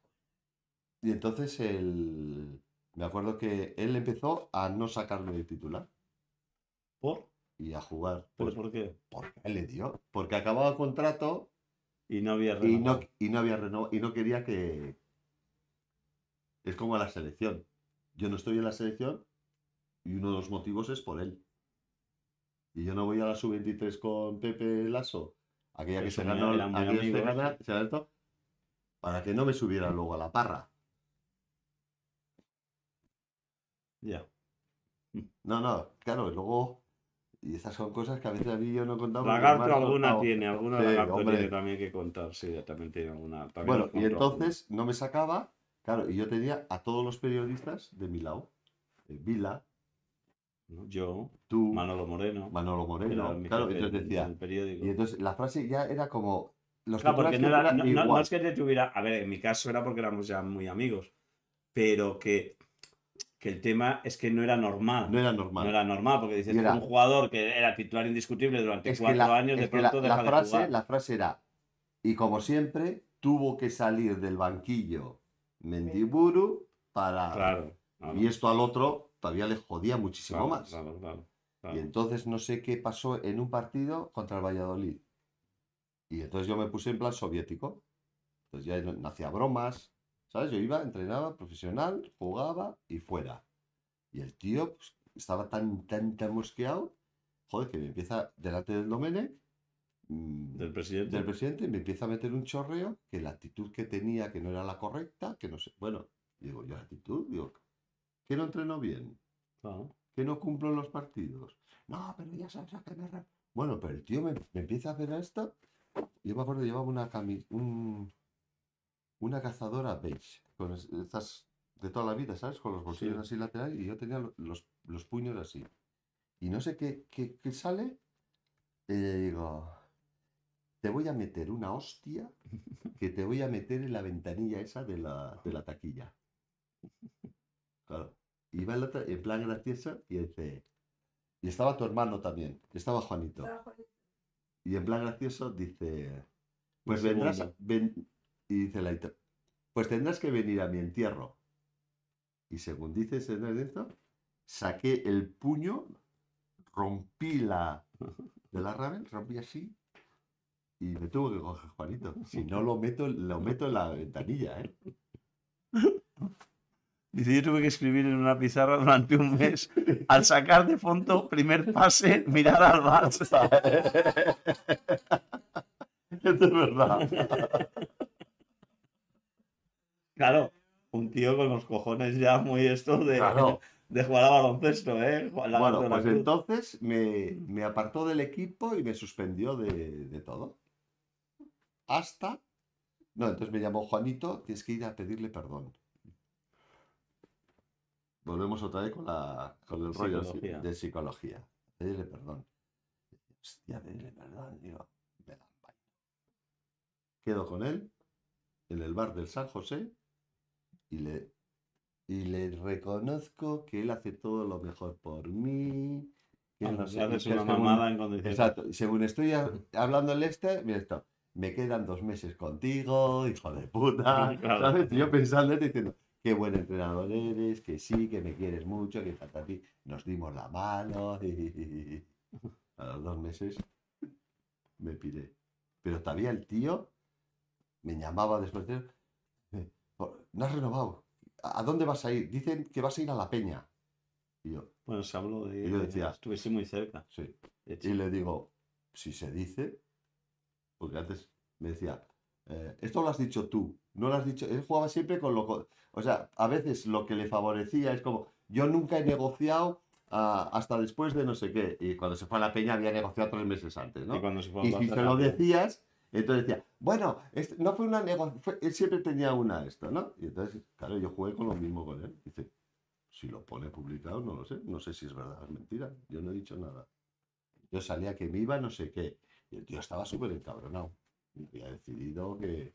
Y entonces me llamó el presidente del Valladolid, Eh, Gonzalo Gonzalo. Gonzalo Gonzalo. Buen amigo. Y ya lo tenía casi hecho, y, y Rosa dice, joder, Valladolid, frío, bah". Ahí ya te habías casado. Ya me había casado, ya tenía a, a. Ainara. Y, ostras, vamos a Valladolid, vamos a ver, Y estando en el bar de en Barcelona, no sé si teníamos una cena ya de verano, despedida. Estando en el bar con Nacho en el Udala, aparece el segundo de Paco Bernard. Entonces Paco Bernard entrenaba al. No, perdona. El segundo de Ángel Palmi. Palmi era el entrenador el Paco. Granollers. Y hablando me dice, claro, entre los presidentes, cuando tú tenías un jugador que era como, eh, llevas muchos años en un club y eras un tío significativo, sí. tal, no sé qué, eh, era como la, no, no, No toquemos, toquemos, no, nos toquemos, ¿no? claro. Y entonces No nos hagamos daño. no, no tenía ni puta idea de qué es. Y le digo, pues me voy para Valladolid. Y el, y el Paco me dice, ¿cómo que te vas para Valladolid? Pero, ¿dejas el coto? ¿No estás, no tenías contrato? digo, no, yo no tengo contrato. ¿Puedes esperar 24 horas? Sí. Y entonces me llama Antonio Novoa. Y me dice, tú no eres que, bueno, como era Antonio, sí. ¿a dónde vas a ir tú a Valladolid? No, no sé qué. ¿Qué se te ha perdido allí. Y entonces eh, tenemos una reunión en el Pescador, en Barcelona, en el restaurante, él, Paco Bernal, un, uno, uno que era ayudante de, De Ángel. de este- no, Ángel no vino. No, el ayudante de Ángel Palmi, ¿no? no, tampoco, uno que era mano derecha de, de Novoa. De nuevo. Y entonces allí no, no sé qué, y en una, como tipo Messi, en una servilleta me pone las condiciones, venga, tal. Claro, a mí se me abrió el mundo. Digo, ¿qué cojones tengo? A ver, entonces Valladolid era un equipo puntero, ¿eh? Sí, sí, no, no me acuerdo. Era no, malo. no. Y Gonzalo Aparte, hizo muy buenos fichajes. Lo que bueno, pasa, claro, tenía que estar con tu amigo pesquera y tal. claro, y decía, joder, claro, me meto en un lado y me voy, me voy a otro peor. claro. De Málaga a Malagón. Y entonces firmé, pues, no sé si fueron dos o tres años en Granollers. Y entonces ahí ya hice 12 años. Dice, pero a ti no te pegó, dice el lagarto, dice, pero a ti no te pegó la patada dos veces, joder. Sí, pero la segunda volviste con el bolsillo lleno. Que te hice una oferta y no pudiste rechazar. Esta es buenísima, la de la Sí, oferta. la guau. La contó. La la oferta, Esta es la buenísima. oferta que le hizo. Casi tenía que poner dinero en la. Y de ahí te viene tu... ¿Por qué, por qué, qué es lo que te decepcionó de Aito? O sea, porque Como tú no eres un tío muy rencoroso, no eres un tío... eres- como persona. Pero quizás Nunca- puede nunca ser el único tío del baloncesto que no... De los que has tenido relación que no te hables. Sí, yo creo que yo creo que me he hablado con todo el mundo. Ver, déjame pensar, porque igual Sí, probablemente Sí, puede pero- haber otro, ¿no? Pero así de esto, no, he sido con él. Esto no es persona, siempre lo he dicho. Entrenador, lo que tú quieras. O sea, puede decir que es cojonudo, no sé qué, no.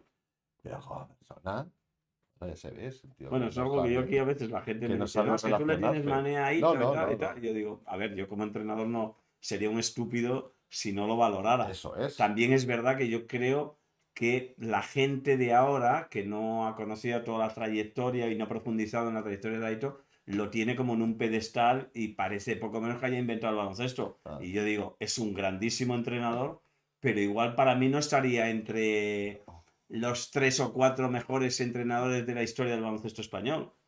En, en el total. Y, claro, la gente dice, no, es que sacó a Ricky Rubio. Bueno, chico, es como si, si, si Pablo Lasso no hubiera sacado A- Luka Doncic, o joder, es que es... Es que, o- es, que es tonto, claro, entrenadito, si o- no sacas a o, Ricky. o a Nacho Solozábal cuando tenía 17 años. El cuchino lo saca. Eh, No, O no, no, claro. Dices, joder, es que es de cajón. O sea, eh, pues ha tenido, en ese momento han aparecido una serie de jugadores que eran muy buenos. Ya coincido que estaba Aito, pero, pero ya está, ya está. No, no, no hay que darle más vueltas. Eso ha pasado con un montón de entrenadores. De- Lolo Sainz pues le, le dio la oportunidad a Juanma López Iturriaga cuando tenía 17 años y a Juanito Corbalán, pues Ferrandi lo hizo debutar eh, con 16 o 17. O sea, Joder, y Ceravica pues trajo a Juanito de la Cruz. Vale. Bueno, y Rango estaba- en Zodiac. que venía con las plumas y las flechas. Bueno, bueno. ¿Eh? ¿Tú te acuerdas cuando conociste a Juanito y a Sí. Chicho? A Juanito me acuerdo perfectamente, porque nos llamó por tela a Perico y a mí para que, para aclimatar, claro, los dos era aclimatarlo. Imagínate, aquí. Oh, Y entonces El quedamos, en el gallinero. quedamos con él. Yo entonces estaba viviendo, ya vivía con los EPI y él estaba pues con, mi- con pues en el Hotel Rally, me parece que estaba. Y fuimos a buscarlo. Con aquella melena que tenía, unos pantalones de campana, ¿sabes? De piel de elefante, pero no sé si llevaba unos botines. Y entonces en los pantalones, que eso sí me fijé, creo, corrígeme Juanito, no, no llevabas Igual se ha ido a dormir. no llevabas bolsillos. Entonces los bolsillos eran interior para que no, ¿sabes? Los bolsillos era todo como todo marcado, así, como un figurín. ¿eh? La melena está aquí. Y lo sacamos y bueno, al principio pues bien. Tampoco, pues éramos chavales jóvenes, nosotros liseábamos lo que podíamos, se fue enseguida a dormir. Y luego sí, luego, hostia, vale, esto también hemos... Conociste antes a la Juanito que a Chicho, porque Chicho vino Sí. después. Conocimos, yo primero conocí a Juanito y luego, Chicho era más complicado. Sí, Chicho, era- había que era entrar Chicho. en él, ¿no? Había, tenía Pero en cambio es eso, cuando esto eras, bueno, Sí. yo con Chicho me veía, y mira que yo le había llamado, eh, de coincidir el palo íbamos a cenar luego juntos y coincidir dos coches en el semáforo. Y me hace que conducía Miguel Ángel o- y Chicho atrás. Y baja la ventanilla y dice, ¿qué pasa? Y digo, joder, baja la calefacción que hay uno atrás que, los, que está negro. Que se está está tostando. Y eso, si se Dice da- que era lo que se llevaba. los Sería en Argentina lo que se llevaba, no en España. Indio, que eres un indio. Oye, por, por menos que le has llamado, un día a Fru Fru casi lo mata, ¿eh? En el Udala, le saca la cabeza. ¿eh? Oye, ¿te vas al, al, al, al Cacaolat? ¿Estás con Ángel Palmi primero? Ángel Palmi Y quizás primero, después eh, tienes al mí, entrenador que al tú más, más, más- querido, más y, querido y y más- con el que he aprendido muchísimas cosas. que eras Chusco Dina, ¿no? Chus Corina. Mm. También un tío muy exigente. Súper exigente, eh, los entrenamientos eran súper decir, porque alguien largos. puede pensar, no, bueno, es que él se llevaba mal con Aito porque era muy, muy, muy Pero- exigente, muy esto. No, no tiene nada que ver. O sea, es, es el Los trato que te daba. Sí, además los entrenamientos de Aito tampoco eran. Comparado con Ranco, comparado con Tordo, comparado con, con Jesús, no, no eran muy exigentes. ¿eh? Había días que sí, hostia, que trabajábamos, trabajábamos. Pero no era aquello de. ¡Buf! Y, y entonces, para mí, el mejor entrenador. Jesús, En el completo. en el completo. Ah, Porque, por Porque ejemplo, a mí siempre me hablabas de Manel Comas, Manel como motivador Como motivador, el era el mejor. mejor. Este hubiese sido el mejor seleccionador de, de España durante muchísimo. Porque en un mes, mes y medio, dos meses, Claro, sacaba lo mejor de, de ti. claro. Motivaba, muy- además, como era muy cachondo, muy no Ah. sé qué, hostia, te motivaba. Joder, has leído con Manel lo que no está escrito. Porque Manel, tú, claro, tú ya lo, lo- lo conocías porque era, había sido segundo, de Segundo de Aito. Porque había sustituido a Juan, al, Sí, al- hermano de Julita. Sí, sí. Además lo puteábamos. A Manel. Entonces, sí. Empezaba, bueno, vamos a hacer un ejercicio de unas combinaciones de filas, de así como muy entrevesado y tal. Y, y, contaba, y contamos a 21 canastas metidas. Y entonces momento dado yo decía, todos los balones al otro lado. y entonces ya, joder, ya las filas ni las esto. Porque era- se ponía como una moto y dice, esto lo hago yo con... Él había estado entrenando a la Peña Margall. A la Peña Madrid. segunda, no sé qué. Sí, porque después fue, Estos fue al, segunda al Mollet. lo hacen, sí. Vosotros que sois de primera, no entiendo cómo lo y todo. ¡Empezamos! Todos los balones al otro lado. ¡Pum, pum, pum! Otro, otro lío. ¡Joder! Y después volviste a coincidir. Y siempre me Y contabas, ¿no? De que como motivador era muy bueno, lo que Muy pasa bueno. que también al cabo de dos años o por ahí ya te conocías lo que te iba a contar, Claro, ¿no? Por eso decías tú que como seleccionador sería ideal. ¿no? Claro. Eh, tiempos cortos, Claro. máximo resultado, vamos, ya genial. Ah. Además, muy motivador de la gente. Era, además, participaba, le gustaba. Bueno, tenías un, un yo muy esto, pero como era, era divertido, pues la- le aguantabas. ¿no? Para claro, ya acababas de sus anécdotas. Bueno, y las que vivimos con él, ¿no? Nos quedaban en pelotas en el hotel. Cuéntanos alguno. Creo que la última vez lo conté, esto de, ¿Sí? en Albacete, que estábamos, estábamos, jo, teníamos un equipo, pero tremendo. Y el equipo de Albacete, en tercera, creo. Nos ganaron de 20. Y el otro, cuando ganabas, era, te tocaban los cojones, y si perdías era horario Michelin. O sea, empezabas a las 8 de la mañana y no te ibas hasta las 10 de la noche. Y de salida, no se va al concierto de Loquille y no se hace nada. Y Chichillo, los veteranos, pues nos miraban. y, y estábamos en nuestra habitación, Chichillo. Y entonces, iban, iban viniendo, venía, venía toda la gente. Entonces hacíamos el, el corrillo, jiji, jaja, y de repente se abre la puerta, pero.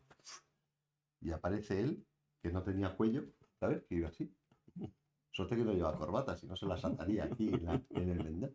Aparece así, en pelotas y con una, con una toalla, envuelto en una toalla, con aquella barriguita que tenía, envuelto en una toalla. Choca, ¿qué tal? Bueno, empieza a pegar un chorreo de la hostia. Y chillo en la cama así mirando.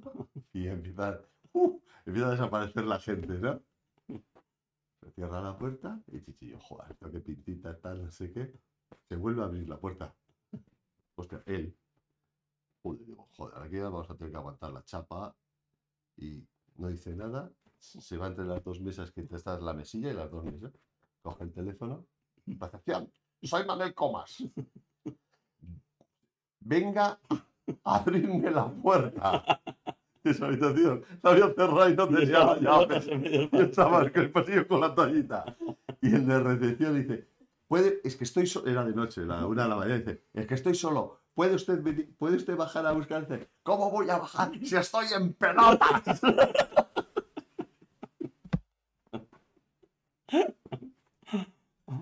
Pero bueno, Bueno, nada, y eh, como decíamos, eh, tu mejor etapa con Chus. con Chus.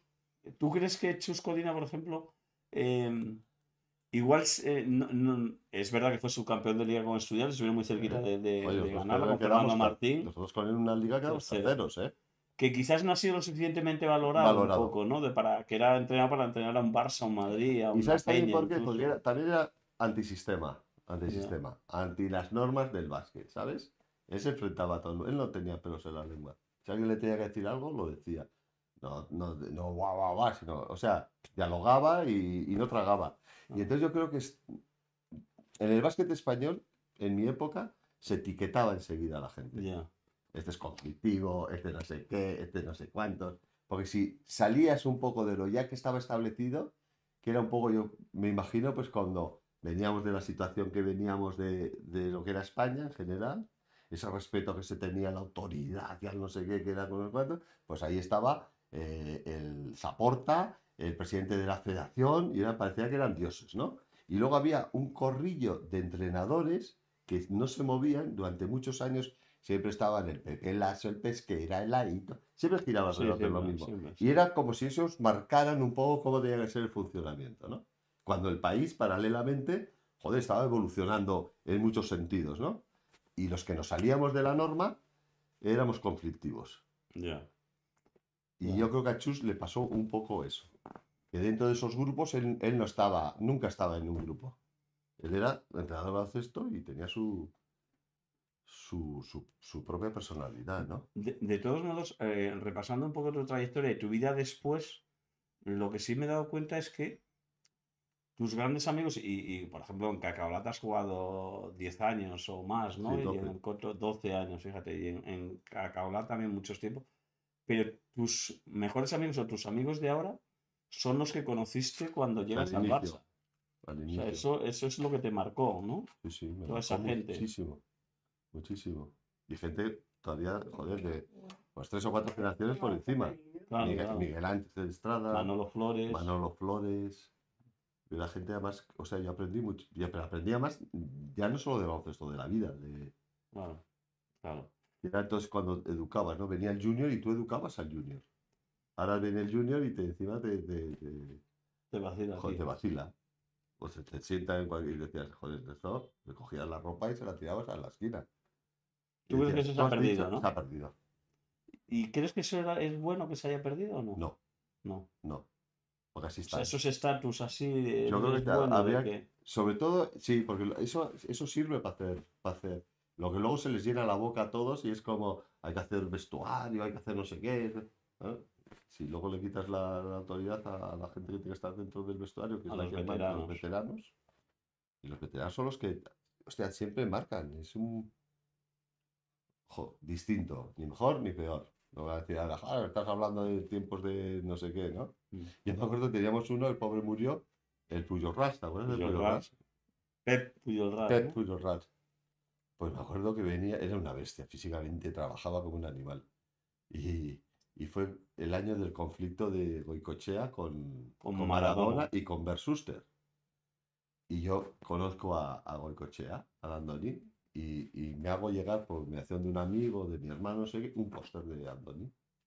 Y detrás de la puerta del vestuario cuelgo el póster. Le habían dado hostias a del carnicero de no sé dónde. Le habían metido hostias por todas partes. Eh, iba entrando la gente tal, no sé qué. Y, y entraban los juniors.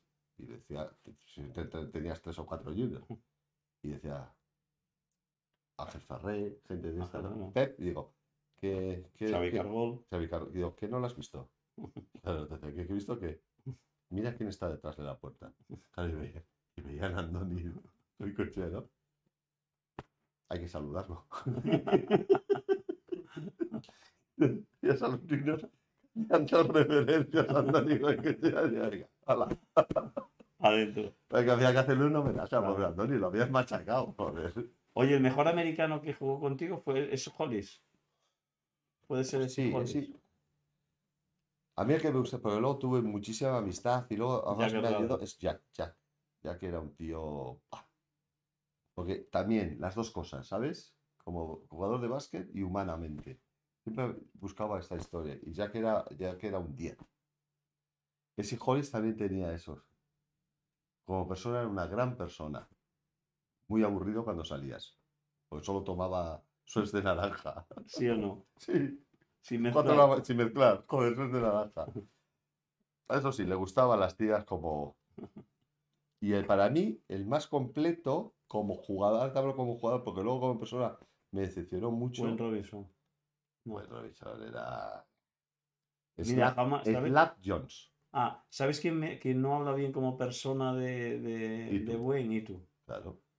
¿Pero tiene qué, te- qué- por qué era? Porque era- ¿Por qué le- no Porque le- era un come, come mierda, vamos, que era un peloteo de los directivos, sabía darle, era un gran relaciones públicas, Ah, sabía venderse, sabía no sé qué. Yo una vez a la un- prensa, ¿no? todo el mundo. Y una vez paré un entreno. Pero hasta las pelotas.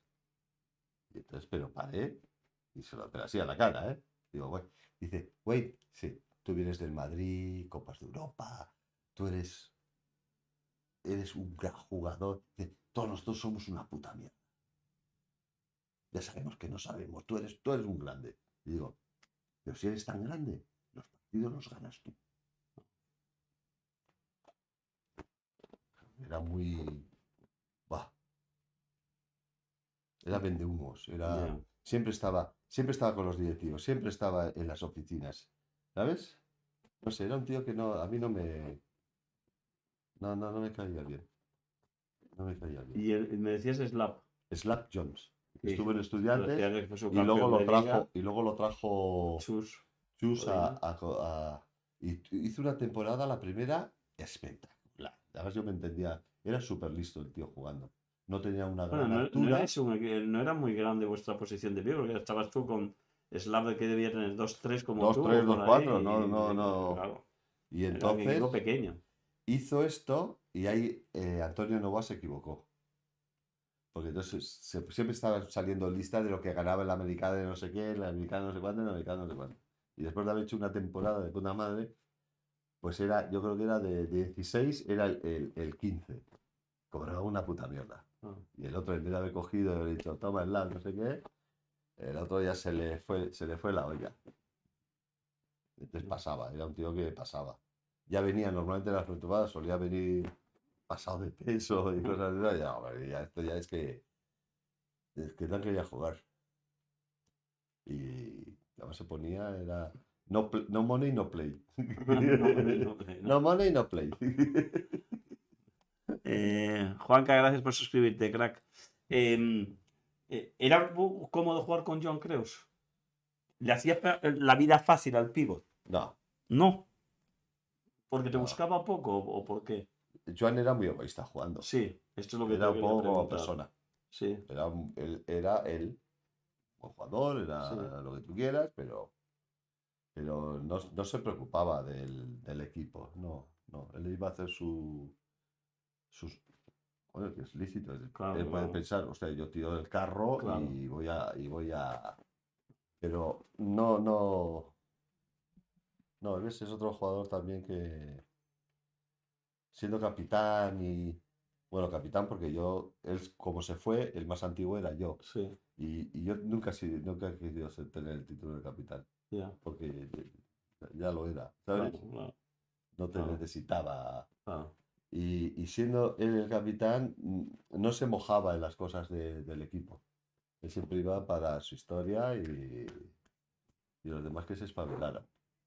Y no. Y mira que venía luego con el grupo. Sí, y sí, las cenas. las cenas que hacíamos y se lo pasaba genial y no sé qué, pero. ¿Ves? Y en cambio luego no. No ha quedado nada. Ya. No ha quedado nada.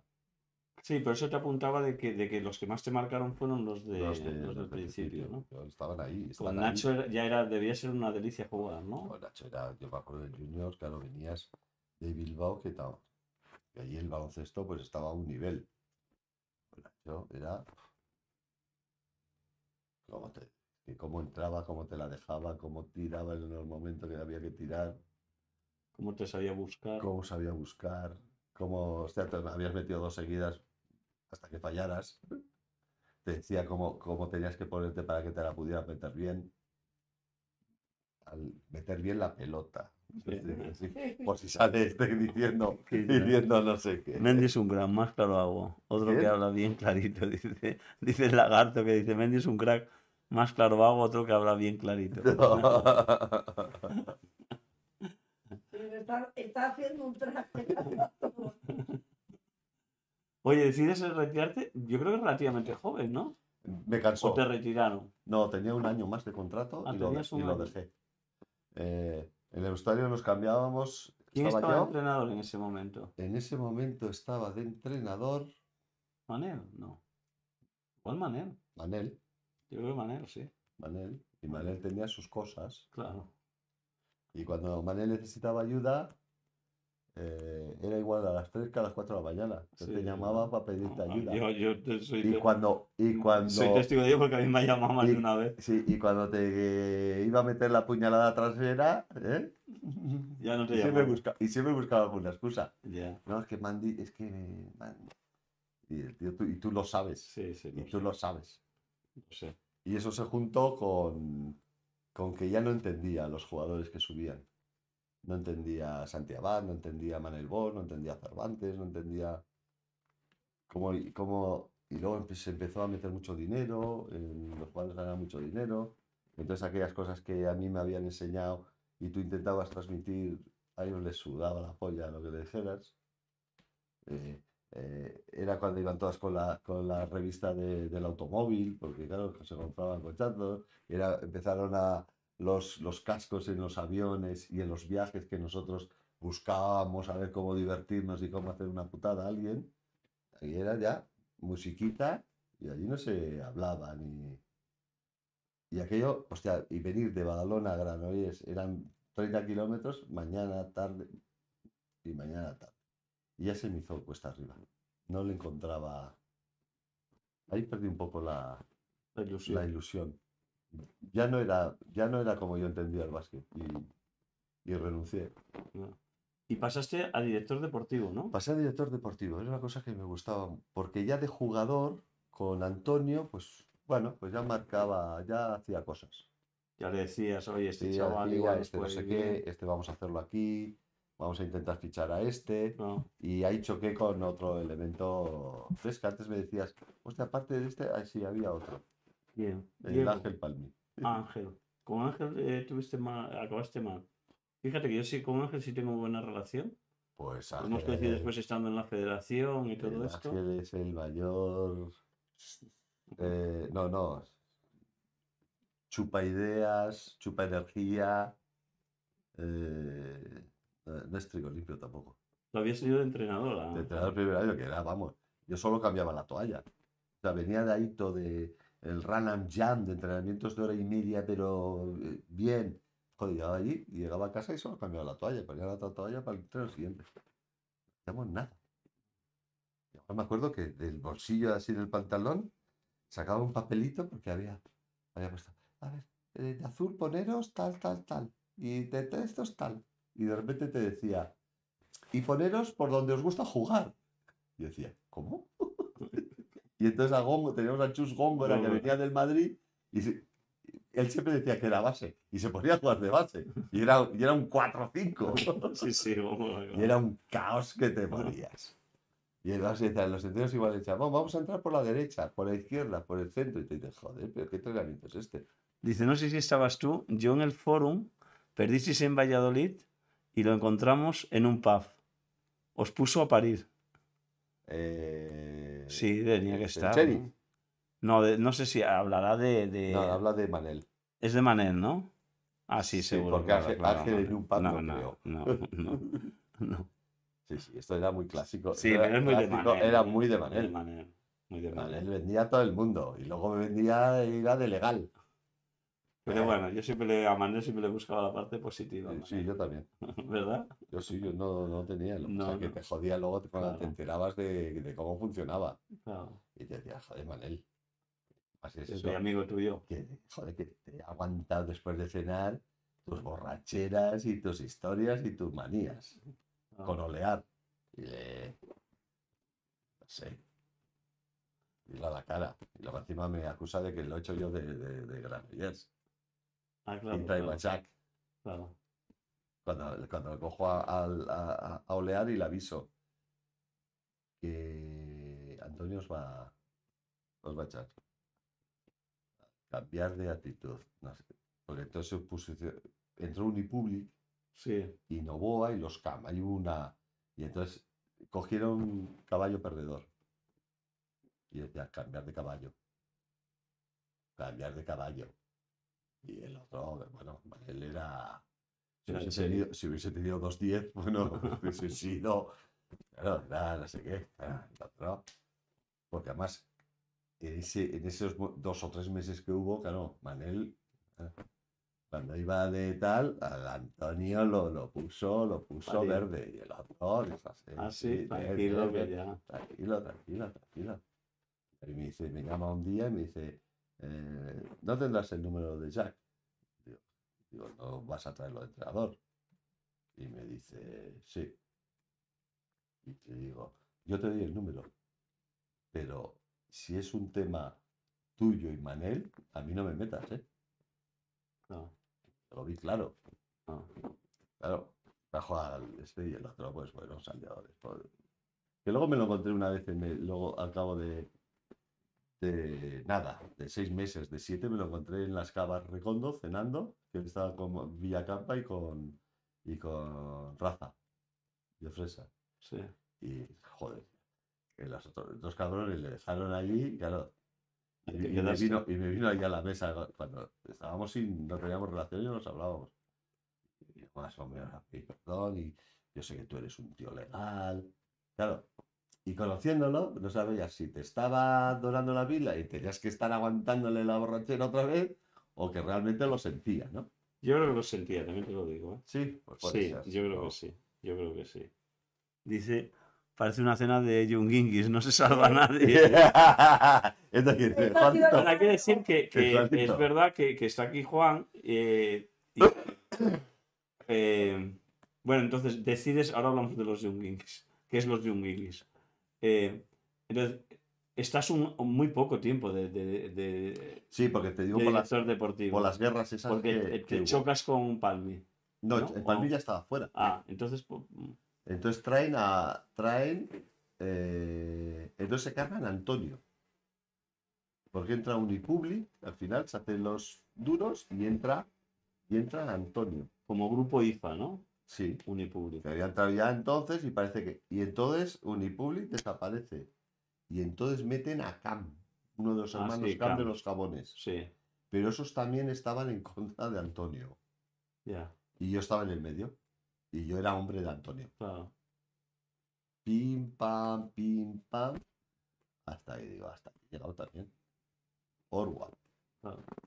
Y, Y te- los meto, y los meto. les metes porque tenías cinco años de contrato, no sé cuánto, ¿no? Tenía el año de contrato, Más, ese que me faltaba, y entonces lo cambiaba por no sé qué. claro. Pero el contrato que yo tenía era que si en cualquier momento, el primer año, el segundo o el tercero, a mí me echaban o no, no sé qué, me tenían que pagar la totalidad del el contrato. contrato. Y eso nunca lo has cobrado. Joder, estuve 16 Sí, años por eso, por eso. no he cobrado nunca. Eh, y ganando cada juicio, me metieron por lo laboral, ganaba, por lo esto ganaba. Y un día al, al juez ya, que vas al principio vas a cojonar, porque, claro, idealizas la justicia y parece, no sé, y al final ya, era- me daba igual ya. Y decía, y una vez le digo, ¿hay, hay, ¿las leyes están en contra de los tíos de dos metros?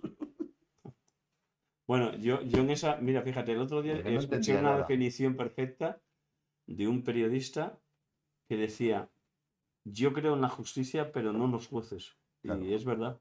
Claro, es que al final, dices, eh, al final lo- los jueces eh, son también subjetivos, o sea, tendrían que ser objetivos, pero al final son subjetivos. O sea, entonces dices, yo creo en la justicia, claro que creo en la justicia. A mí, me, Pero no había- creo en los a mí me- jueces. me llamaron una vez, a cabo de 5 o 6 años, una jueza, me llamaron una, con la, el abogado y no sé qué, y me, y me empieza a echar un chorreo la jueza, que yo no entendía nada, y suerte que la oiga, digo, ese es su trabajo, porque la jueza había hecho mal su trabajo. Y el culpable era yo. Ay, claro. Y al final decía, ¿y esto ha alargado el juicio porque usted no sabe hacer su trabajo? Sí, y llegó un momento que me daba igual, iba, iba a morir. Claro, 16 años peleando. Reconocimiento de deuda. Más intereses. Nos íbamos por encima de los 100 millones. Y nunca más se supo. Nunca más. Bueno, hay, hay aquí un tema que también tendríamos, aprovechando que está también Lagarto y que en su momento lo, lo estuvimos incluso hablando y ver hasta dónde se podía llegar, eh, que es que claro, en todas, todos esos años que vosotros eh, jugasteis como profesionales al baloncesto, mm, pues más de la mitad de esos años, bueno, yo creo que ninguna, os consta como, como declaraciones en la seguridad social ni nada, de esto. Nada, nada. Los clubs no, no, no, no, O sea, no tenéis antigüedad, digamos. Nada. O sea, el lagarto, por ejemplo, lo hablamos el otro día, me parece que tiene 13 años de antigüedad. O sea, y ha jugado, pues lo que, lo que jugó, el tiempo que jugó en, en el, en, a baloncesto, Y pues lo curioso además, que- más de 20 años. O lo 20 curioso años. es que pagábamos impuestos. Claro, por eso digo. O sea, para una, o sea, pagábamos no sé qué, pero luego no había- los clubs pasaban olímpicamente, nosotros El no tema de la seguridad de la social. seguridad social. Luego les meno- el ACB les medio obligó, no sé qué, pero se lo saltaban a la torera. claro. Claro, porque además, claro, reconvertir. De repente tú tienes un contrato de 20 millones de pesetas. Y ahora te dice, ahora hay que pagar la seguridad social. Claro. Tú ibas al club y decías, no, no, a mí me sigues pagando 20. Claro, problema. Ya eso de 20 se convertía en, en 30. claro. Claro, las fichas subían, claro. era- un- Entonces, ¿qué hacían? No declaraban. O entonces empezaron a hacer, eh, vamos a dividir el contrato. Eh, derechos de imagen, ahí empieza todas las historias y lo que te pago. Entonces, por derechos de imagen lo sacabas eh, no sé qué. Y luego, y la siguiente trampa fue crear sociedades. Claro. Entonces tú creas una sociedad y la gerente era tu mujer, la secretaria la suegra, eh, no sé, y ahí metías todos los gastos. Eh, casa, hipotecas, coches, el día a día, y, y entonces todo el mundo estaba siempre pidiendo facturas. Cuanto más metías ahí, Más cosas, más limpio te quedaba. te quedaba del otro lado Claro. también. Entonces, Ah. y también eso luego pues pegó un pedo tremendo. Vale. Y no nos olvidamos que estamos en directo, joder. Lo que pasa que estamos aquí, es, es un sofá. Eh, estamos aquí con la esto y ¿qué queréis que hagamos? A ver, ¿qué queréis que hagamos? ¿Eh? No sé cuál es el peor. ¿Qué? Sálvame Deportes. Te van de aquí a las 3 de la... Te están saliendo de la manaza del chirincirco. ¿Por qué? Son dos amigos hablando. Es que son, yo creo que hay algunos que son muy gilipollas, ¿no? que no estáis pensando en la cámara. Pero, pero, pero que no estoy pensando en la cámara, estamos hablando como con vosotros, joder, charlando, como son las entrevistas aquí. Pero lo que tampoco entiendo es a Sofía, ¿no? No, que dice, sálvame, limón eh, mínimo, no sé cuál es el peor. ¿Quién ha dicho eso? Fifi, eh, Sofía. No, no entiendo. Eh, a mí me está gustando mucho. Che- dice Chema López, dice, no sé. Eh, Siro, pregúntale si tuvo oferta. Yo, ¿De Caja Bilbao llegaste a tener? Sí. ¿no? Para... Tuve dos veces a punto de venir a Caja Bilbao. Sí, ¿no? Sí, sí. Y de Vasconia una, cuando Chema era entrenador. Bueno, entonces nada, dejas, el, dejas la Secretaría Técnica eh, y pasas a trabajar en Cacaolat. No, ya, ya, como jugador ya trabajaba en Cacaulat, en el Ah, vale. departamento de publicidad. Ahí trabajaba. Vale. Vale. Y dejo esto, estoy un año intentando, no, dejo un año de jugar y me viene un amigo mío y me dice que tengo que jugar en Aleña. Y digo, hombre, no me jodas. Y me dice, es que estamos creando un pabellón y nos iría muy bien no sé qué. Bueno, fue una negociación de eso, de 8 de la tarde a 4 de la mañana. Y digo, joder, tío, que yo no me veo. Bueno, al final acabo jugando en Aleña. Creo que ha sido lo peor que he hecho en mi vida. No por el Aleña, por ir por esos campos de Dios. O sea, llegaste a jugar en la Liga después de retirarte. Sí, no me un año, un año sin esto y entonces que yo me seguía manteniendo porque además jugaba partidos de veteranos, eh, jugaba ligas de estas de, de empresa y, y juego y juego en el Aleya y fue, pero además me acuerdo que iba el pobre Trotsky y esto lo pasaban, fa- pero es que la gente, esos campos, el Sese, Ah. que, no sé, que iban, que ¿Qué iban esa qué categoría era? 40. Es que no sé si era eh, regional o catalana. Una, o sea, una. Joder, pero me ponía. Ya esto de Viejo, tal. viejo, no sé qué. eh, esas cosas dices, bueno, la, bueno, decías, no, no, joder, no sé qué. Y digo, joder, y en el SS yo salté la valla. Y fui a por seis tíos de to- y Además, los, los clásicos que están tomando medianas allí y a mitad del partido llevan una manga con un piano, ¿no? Y, y mi hijo, mi hijo, y me acuerdo, Rosa, sufrían muchísimo. Bueno, entonces nada, dejas el eh, baloncesto. ¿Nunca te has tenido así de esa sensación de arrepentirte, de decir, porque te desligas mucho, sigues, bueno, sigues más o menos, porque además eh, tu hijo Javi eh, también juega, se va a universidad americana, y después vuelve y juega aquí en, en esto, pero, pero bueno, digamos que tampoco se- te alejas bastante, ¿no? Sí, sí, pero porque, no sé, mi cupo de baloncesto era, pues con eso, cuando creo los yunguinguis y las cenas. Esa es la relación mía con el baloncesto porque esa era lo que sentía. Dejo el baloncesto un año antes porque no lo entendía. No entendía la manera de funcionar. Entonces, tuve que cambiar el chip. Bueno, y digamos esto de los yunguinguis, un día, eh, hablando los dos, eh, que había gente que llevábamos tiempo sin verla, ¿verdad? Sí, Eh, que se habían retirado muchos de ellos, pues Perico Ansa, Nacho también sí, debían estar ya por ahí, Manolo Flores, todos. y di- decidimos mm, organizar, decir, bueno, tenemos que instaurar una cena mensual El jueves, el el último jueves jueves, de cada, mes. mes en un restaurante que eran las Un Cavas de vasco, Recondo en, sí. en Masnou y para que eh, pudiéramos vernos Los- y porque lo, lo malo de el vivir en ciudades grandes es eso que no te des con la gente no entonces nos marcamos eso Y se crea una peña que yo creo que lleva 30 años, o bueno, la creamos en el Más. 30 y algo. Y Si hemos sigue retiro con 34, 35, pues eso, hasta ahora, hasta 30 y ahora. pico sí, años. 30 y algo de El años. COVID nos ha, nos ha jodido un poquito Que lo de Yungingui, ¿por qué viene? por un personaje de Badalona. Se llama la peña Los Yunguinguis. Era, bueno, pobre hombre, era como, No. bueno, un friki de estos, un cuñado, uno de estos que vivía por Badalona, que venía a entrenar. a ver- no, venía a vernos los A verlos entrenos. Entrenar. y, y tenía, bueno, tenía una deficiencia y hablaba así un poco nada, bueno, era un poco así. Y entonces dijimos, tenemos que buscar un, Un un nombre, Yunguinguis. Y entonces los Yunguinguis que creamos fue un lobby importante al principio de Sí, opinión, sí, ¿eh? sí. La gente, Bueno, llegó a venir un la día gente, sí, sí, no, no, llegó hasta los, a los postres, llegó, se fue. Sí. Y, y, hostia, y la gente eh, hablaba, sobre todo en Cataluña, era lo que se decían los Sí, yunguis, sí, hostia, se tenían- tenía en cuenta, ¿eh? Y además lo- les daba hasta miedo.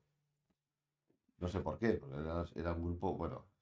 Muy heterogéneo, de todos y modos. súper ¿eh? divertido y bueno, José María Margal, Juan de la Cruz, Joaquín Costa, Costa, Agustín Cuesta, Flores, Miguel Ángel Estrada, Nacho. Solozábal, Perico Ansa. Federico Ansa. Al eh, principio me acuerdo que queríamos hacerla como, joder, las primeras cenas, yo que estábamos como 40. Sí, José Vendrell, José Vendrell, eh, Canut, Canut, Diego. Monchetti, bueno, Sí. Chichicreus. Sí. Y luego se fue reduciendo, reduciendo, reduciendo y ahora somos los 14 y 16 que somos. Sí, los que quedamos. Bueno, que Los últimos de Filipinas. los mejores. Oye, eh, tu peor momento, claro, cuando a Rosa le descubren un cáncer, ¿no? Sí, Eso, sí, sí. eso eso debe fue. ser dificilísimo, ¿no? De llevar. Y además fue, le descubren el cáncer, estamos dando, claro, Pues con Rosa empezáis con 20 años, Sí, ¿no? con 20 20 años. añitos. Y entonces vamos dando, claro, el básquet te da mucha relación, ¿no? Entonces Claro. íbamos pues al médico de no sé qué, que a su vez pues te decía, conozco al este que está haciendo unos temas experimentales y es el mejor de España. O sea, que él, ibas a aquel, ibas a no sé qué. Y, y lo peor del cáncer era que, que sabíamos que tenía fecha de caducidad. Eso, es, eso, eso es lo que... Y la lucha que tuvo ella con, con el tema, ¿no? Que hasta el último momento peleó, peleó, peleó como una jabata. ¿Para ti fue peor, recibiste peor la noticia de su cáncer que del tuyo? El mío, yo creo que es, es como en todo. En, en todas las decisiones que he tomado que me ha pasado, he tenido las, las barreras o las historias suficientes como, como para bloquear, ¿sabes? Y que no me afectara demasiado, ¿no? Menos con lo de Rosa. Rosa fue un... Y, luego, mis- claro, pensando en mis dos hijos también, ¿no? Claro. Y con el mío, pues bueno, no sé, fue, fue como, primero fue como muy, todo muy casual, no tenía ningún síntoma. Estoy desayunando con un médico amigo mío en Ángel Charte que Ah, dice, eso. Hostia, Bueno, Ángel Charte, que es el médico, el de los- cirujano de los motoristas. o sea, que motoristas, está en- el está la, en la circuito- móvil- en la uni- en la unidad móvil, móvil, médica. sí. Y entonces no sé qué diablos hablando me dijo, dice, oye, vamos a hacer unas pruebas. Y Bueno, porque tú te habías encontrado mal, venías de un día de Catarro, correr, ¿verdad? sí, Y- Pero venías día de como correr y tenías como fiebre, fiebre, ¿no? y no- y no pensé se que era el acababa de catarrillo este de- después del verano, ¿no? Mm. Y me tomé unos, unos ibus, se me fue y, y fui a correr otra vez para sacarme, porque soy muy antiquímica, no me gusta Sí. la... Y fui a correr, joder, y en el portal otra vez una tiritona, un no sé qué. Y, y justo pues me llamó mi hija al día siguiente y me dice, esta ven a, pues ven a ver a tu nieta, que después del verano la has visto y tal, hasta sí que tengo ganas, voy a ir. Y, les, y dice, ¿qué te pasa? Y digo, no sé, tengo una fiebre y dice, oye, pues vete a ver a Ángel, ¿no? Y digo, sí, sí, ya iré. Pues yo, si no tengo el ojo en la mano, no, no voy al médico. Y entonces me dijo, llama delante mío. Y le llamé, y el otro, hostia, ven a desayunar y hablamos los chascarrillos de básquet y tal. Y ya te digo, además era curioso porque Ángel es Yungingui Claro, es verdad. y siempre hacemos una broma de, a todos los nuevos, ¿no? Que vamos contando, hacemos el paripé de hacer que estamos contando anécdotas y entonces le damos pie a que él cuenta algo del básquet, ¿no? Y cuando empieza a contar, pero que lleva un minuto, entonces le digo, No Ángel. Ángel, no nos interesa para nada lo que nos estás contando. Y entonces "Oh", y es como la entrada del bautizo. Y la gente se lo- bueno, normalmente la gente se lo toma bien. Y entonces cuando estábamos en esto, que me dice, ven, y entonces me metió, me acuerdo, fuimos, pero por el sótano de la de Zeus, ¿no? Iba dando órdenes. Monta esto, haz esto, ahora, haz la analítica, prepara el tag. la y yo decía, Ángel, ¿tú crees que es necesario? Claro, estaba con este tío que cojones estás acojonando. y, le estás acojo- y se gira y me dice, tú eres el presidente de los Yuminguis, pero aquí mando yo. y ahí me quedé frito. Claro, me hicieron todo, claro, ya lo habían hecho, vamos, yo pensaba, ahora me va a meter el tubo, me va a meter el dedo en el culo. Entonces, y se ve, tenía un, bueno, tenía un pedazo de cáncer de cojones. Síntomas. Y me lo tomé como muy, bueno, mi nueva pareja me entró, entró en lo- claro, la llamé, entra en el box y dice, se te veía pequeño, pequeño, pequeño, pequeño. Del y tío que supongo que estaba, bueno, supongo que no había reaccionado todavía la palabra y estaba como giñado y como, bueno, cogido, diciendo, hostia, claro, y luego me venía la película de Que, que habías vivido con tu que había venido mujer con mi rosa. mujer rosa. Claro. Y luego, coño, decírselo a mis hijos. Y luego la, la biopsia y todo, y que, no, y que no saliera la palabra. Claro, Es metástasis. metástasis.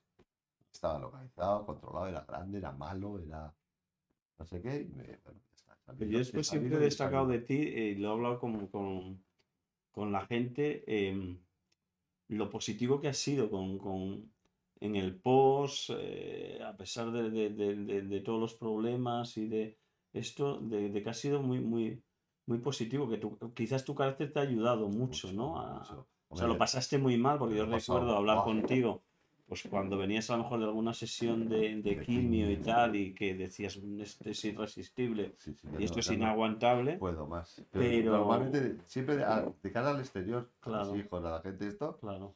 no, no, ¿cómo lo llevas? De puta madre. Y la verdad es que Bueno, conmigo no me lo decías. no. Bueno, tú también me decías, joder, te llamo para animarte y me animas tú a mí, Sí, ¿no? sí, Y digo, bueno, sí, es verdad. pero yo lo pasé. Y lo que pasa que eh, había, había momentos que, o sea, la quimio te hacía. Y entonces te daba un poco de respiro hasta la siguiente, hasta la siguiente dosis, ¿no? Y aquel fin de semana, yo iba con, con mi nueva pareja. y nos íbamos a comer y no nos estábamos de nada. No estábamos de nada. Si había que beber una botella de vino, la bebíamos. Hacer un chupito, un chupito. Pensando que el martes, hostia, iba al infierno otra vez. Y hacíamos, las hacían las, las analíticas antes de, de meterme, según en función de la analítica, pues te meten más historias o... Hacía la analítica y esto de estar con mi hijo y la nora decía, joder, esto de, joder, te sale de puta madre. Y mi hijo decía, has debido coger otra. La verdad es que lo tomamos con mucho, con mucho humor el tema. Y hubo momentos súper difíciles, muy difíciles, que yo, pues no sé, fue la cuarta o la quinta sesión, ya dije que, no, que ya no podía más, que me, que me rendía, que no, que no, que no, que era, era... Y luego, o sea, pasé muchas horas solo. Porque mi nueva pareja trabajaba, se iba ya a las nueve, hostia, no me hacía la cena, me hacía todo, joder, fue también las que estuvo allí, y, pero tenía muchas horas, y la cabeza es muy hija de puta. Claro. Y es, entonces si me dolía un, hostia, una cosa normal, decía, joder, ¿y ahora por qué me duele aquí? Y ahora... Ni me lo comía, ni me lo comía solo. Afortunadamente han pasado cinco años, ¿no? Y, hostia, todas las pruebas siempre La han última estado- prueba fue ahora en julio, verano, ha ¿no? sido la, ya un año, ¿no? última. ¿Cuánto? Ahora ya, pues cada un año, cada dos años, no lo sé, pero ya está, está superado. Está superado. No. Pero ha sido, hostia, es una experiencia jodidísima. Además tan seguida. Y luego, y luego descubres que todo lo que, lo- el cáncer, cuando hablas de cáncer, y más allá que va, el cáncer siempre lo ves lejos. Es, Mm. amigo aquel que estudió con nosotros. Hostia, parece que tiene cáncer, sí, pero hostia, qué, qué putada y que no sé qué, pero está allí.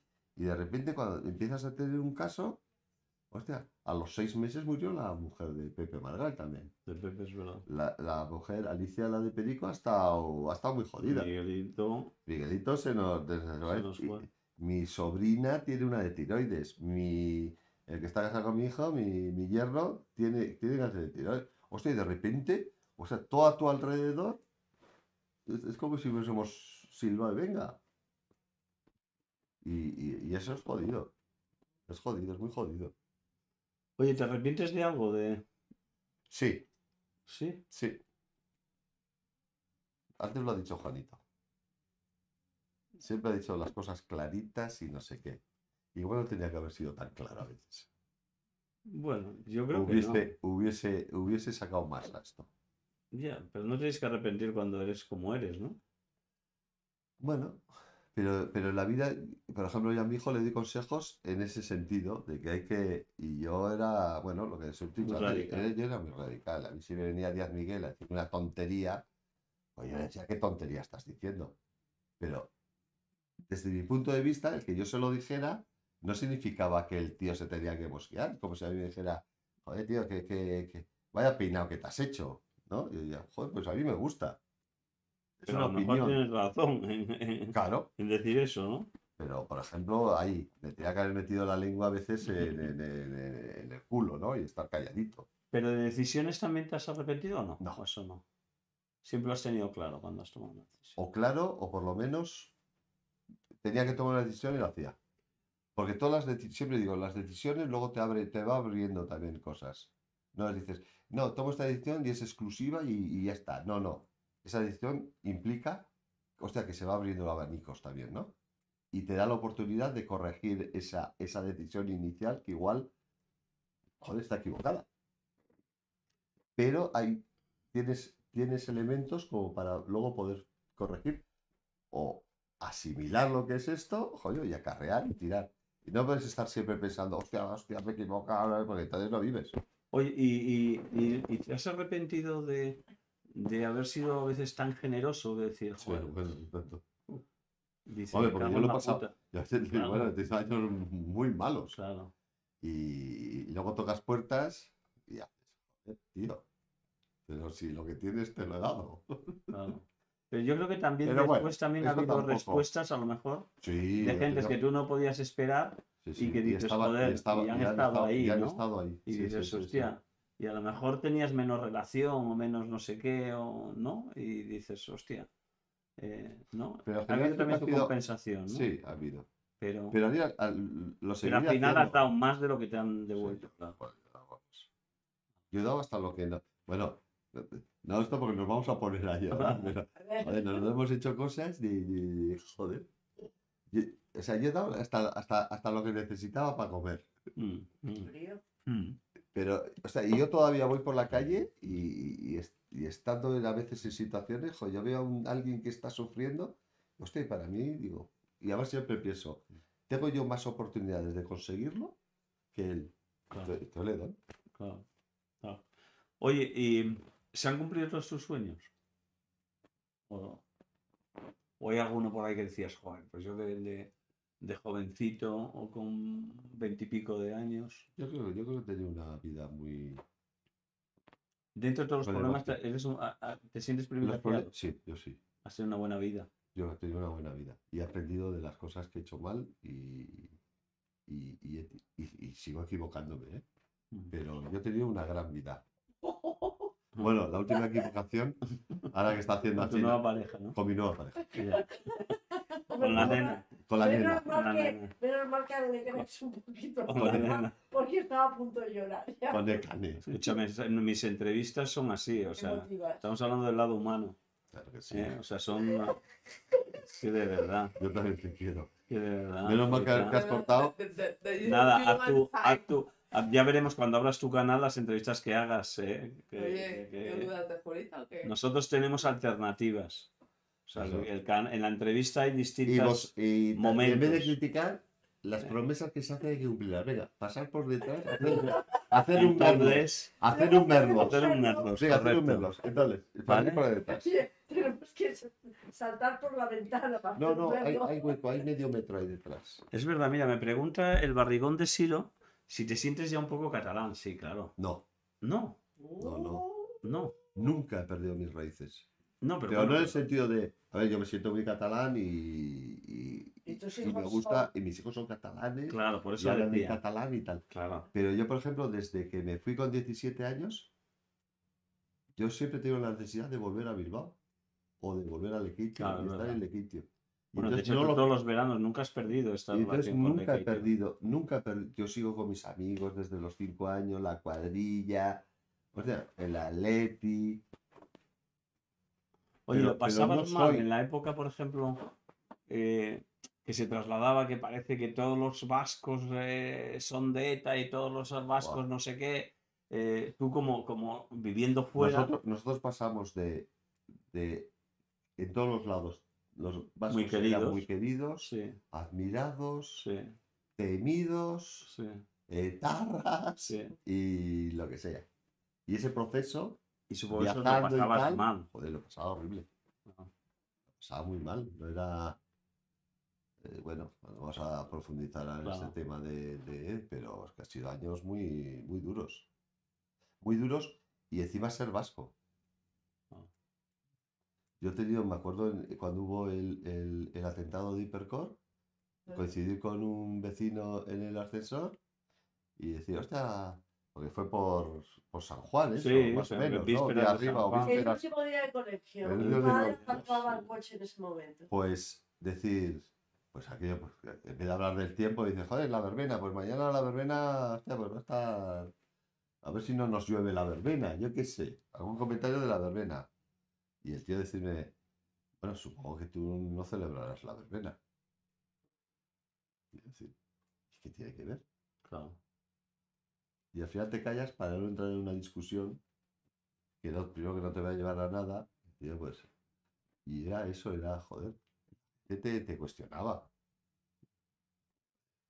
O es que sufrieras un no sé qué, ¿no?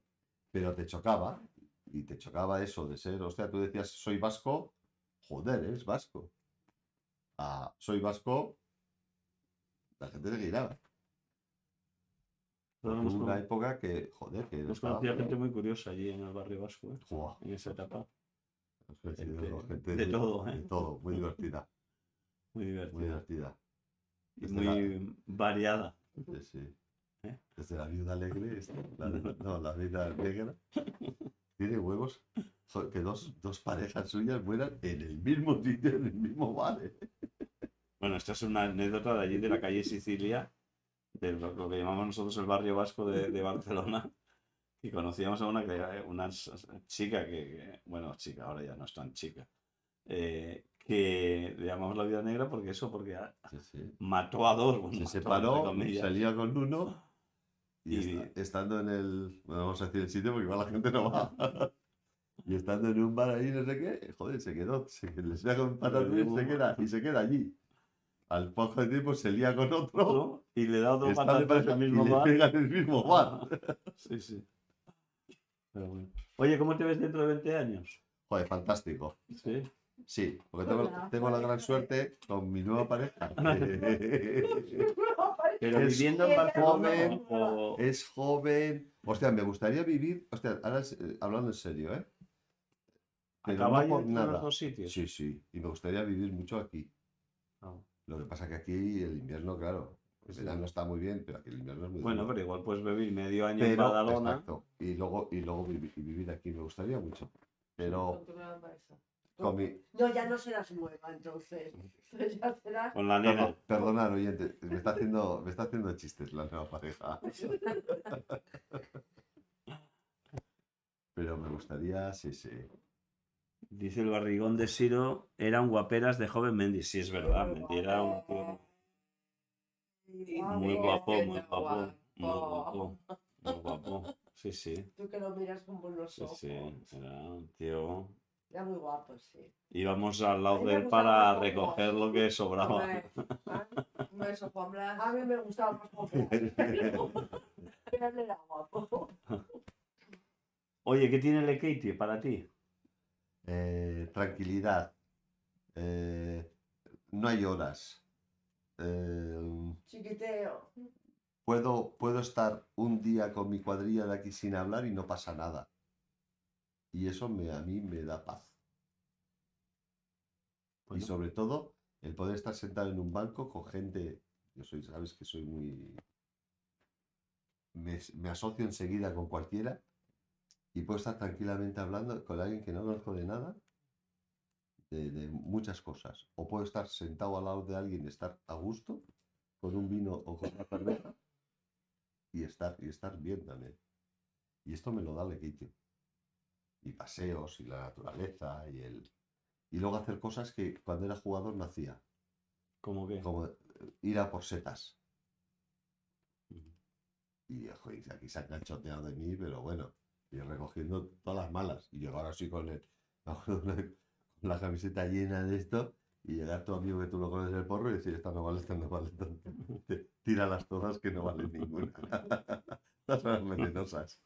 Ir a pescar. Ir a, yo qué sé.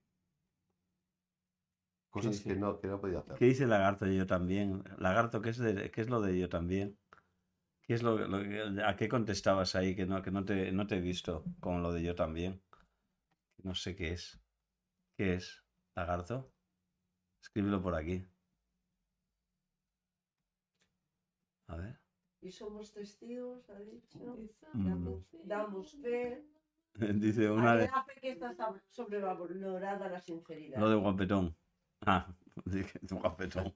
Bueno, lagarto tampoco. Dios nunca nos llamó ni a ti ni a mí por el camino la pura. Teníamos otras cosas, la simpatía natural que tenemos. No, exacto. ¿Eh? Conocí gente. Conocí gente en Barrio Vasco, pero Lagarto, que era gente como muy variopinta, ¿eh? Había personajes allí. El, aquel, aquel Navarro, el Morenti, ¿qué era? Morenti, Chus Morenti.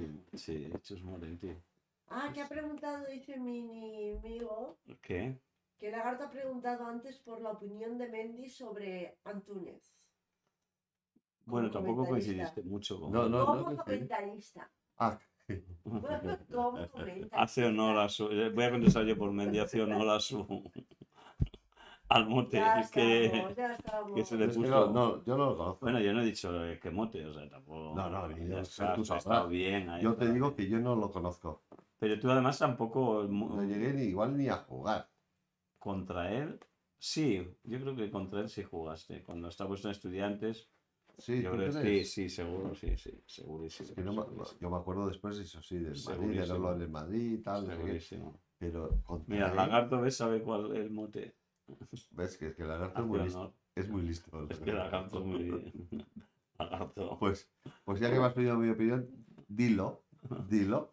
Dilo ver, tú, Lagarto, tú, da- Lagarto. Da, tu opinión, ya que está, Venga. porque, claro, no tienes la piedrecita Claro, ¿eh? y escondas la mano, ¿eh?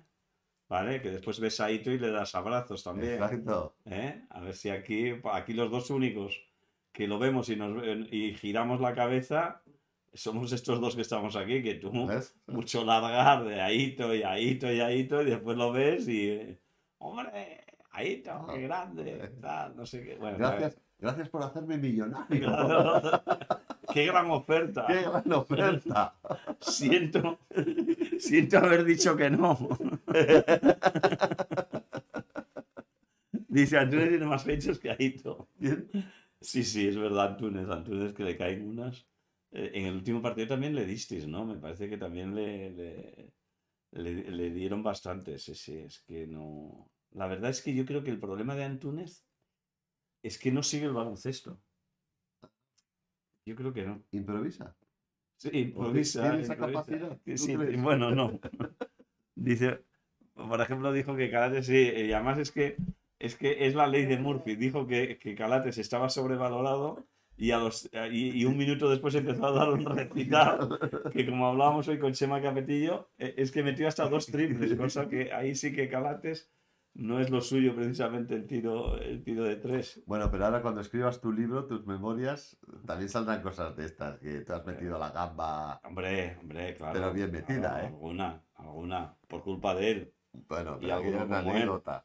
Pero O sea, eh, pero a alguna ti- anécdota contaremos, sí. eh, desde perderte en el metro de Moscú Bueno, eso ya lo a sabes. llegar ¿no? tarde, a llegar tarde a un partido O y de- fichar a Margal por el Madrid. Madrid, Claro, José María Margal. Sí, sí. o el otro, desgañitarse el García, Sino López, Sino López, Sino López, y tú estás, te pensabas que el partido era a las 7 y, y- y lo dile en a otro Sofi que le sigues queriendo, que la mujer está disgustada porque te enfadaste, porque te puso, Piasea sabe, eh, Alfredo, que yo a Sofi la adoro. O sea, Sofi puede decir lo que quiera. Simplemente, simplemente que, que no, que, ¿Ah, que sí? ella, ¿Cuándo? precisamente ella, tiene que entender la, la- Ah, la- situación en la que estamos, que a lo mejor no es la mejor imagen, pero porque estamos aquí en el ¿Y Lekeitio está, ahí? y, y todas esas cosas, o sea, pero que yo la, que yo la adoro y además le agradezco todo lo que hace por el canal, solo faltaría. Oye, te, te dije una vez, la última vez, la semana pasada, así, que mandaras recuerdos a un tal Sí, Martí. Martí, Planas. Martí Planas, que le Dice- mandamos es que, una... Es que me está diciendo. ¿Está por aquí o qué? Sí, dice que hace un rato. Ah, sí, claro, igual que nos ha ido. Hostia, Martí. Martí, Un abrazo. Es que no, no- no te mandé, me tomé nota, pero después, eh, yo creo que al día siguiente lo hice ya en directo desde el coche y ya no, no, no llevaba el papel ni nada de esto. Martí, un abrazo. ¿Ves? Su padre se ha hecho este, este Badalona y se ha hecho Lequitierra, tío. ¿Sí? Todos los veranos viene aquí. como Sí, yo, sí. ¿no? Eh, ¿Dónde juega Mendiburo? Hombre, hasta edad ya no juega ni a las chapas, o sea, Joder, ya, tío, Tengo, ya tengo- ahora ya es de mi quinta, ¿eh? O sea que del Ahora- 18 de julio. Qué disgusto le hizo a tu Las tres- ¿Cómo las tres- nacer el 18 de julio? Sí, sí. Las tres P's. Yo juego a las tres P's. Pipas, paseo y playa. Oye, la enfermedad lo peor que, que te pasó es... eh, tú eres, por ejemplo, un tío que hacía mucho deporte. Sí, eso es lo que Es más lo- me ha lo que tocado. más, Sí, eh, lo que he ido perdiendo. Sí, ¿no? Porque además a mí me viva fantástico ir a correr, Por eso. subir a los mo- al monte, pasear, pero pasear a ritmo, no Claro. hacer un... Y, hostia, eso mentalmente siempre me ha ido muy bien. Claro. En el equipo de petanca, eh, la petanca no la ha trabajado lo suficiente. Estoy en ello. Está en ello. Estoy- ¿eh? Está estoy- en ello. Sobre todo para coger con el imán Sí, para, van a para las lumbares, las lumbares para que no sufran. Me hace una gracia eso. El domingo entonces nada, yo tengo los eh, cuchillos afilados. Dice Chistorrita que tiene los cuchillos afilados para el domingo, pero claro, el domingo no tenemos sociedad, no tenemos local. No, no tenemos local. Porque vamos mañana, Y ah, no, además- mañana vamos al local. No, vamos al otro. Vamos al local de Isuncha. Claro, Y antes tenemos barco. Barco. que Mañana, por estábamos- cierto, Que estábamos esperando al señor Juanito de la Cruz. claro, ¿eh? Las como cañas, lobo de mar, las como lobo de cañas, mar. tal, lo teníamos todo pero bueno, preparado. Nada, Pero pero Juanito, Mañana a las 10 de la mañana. a las diez y media salimos en mañana a barco. diez y media salimos en barco. Costeamos. Voy a intentar hacer IRL desde el barco. Mujer, Eh, si me veis vomitar y cosas de esas, me tomaré biodramina. Pero me han ya hemos dicho- comprado ¿Cuántas quería hay que tomar mi tomar? media docena y ¿Cuántas solo me que dejan tomar? tomar una. una, una. Una y eh, haremos directo desde. Intentaremos, porque además va a ser un recorrido muy bonito. ¿verdad? Muy bonito. Y además intentaremos, Por la costa. si, si el mar está tal, ir a buscar los, Los delfines. los delfines. Porque hay una zona que hay delfines. Nos han enseñado Sí, eh, vídeos tomados desde vídeos el barco y no hay que irse muy para adentro. O sea que. Vamos a ver Y si costearemos, mañana- pues yo supongo que nos llevarán hasta Guetaria. Dice: mejor jugador vasco de la historia, Mendy o Itu. Hombre, por favor. Eh, el mejor. Tú me hace, me hace muchas veces la broma esta. ¿Qué tal está el segundo mejor jugador de, de Euskadi? Y yo le digo, hombre, muy bien, pero tú eres el tercero, porque el primero es Emiliano. Y Claro. claro, yo soy el segundo, pues Emiliano, Mendy y tú. El mejor Iturriaga. El domingo 21, chistorritas, que yo igual estoy ya en Madrid porque el 20 tengo el programa de la UFC. Entonces, eh, no lo sé todavía. No lo sé. El domingo vein- 21. Te lo diré, chistorrita. Pero de todos modos, ¿dónde estás en Donosti? Si le hacemos una embajada en Madrid, ahí la hacemos ya. Me nombren a mí. UFC, sí. Eh, Chistorrita, ¿dónde estás en... ¿Y qué de jeta? Amigo. Ay, ¿y José Querejeta. No, Joder, José era bueno, muy ¿eh? bueno. Era un tío. Margen de la coña, que de gente era muy Bueno, bueno. y J, Oye. J. Davalillo.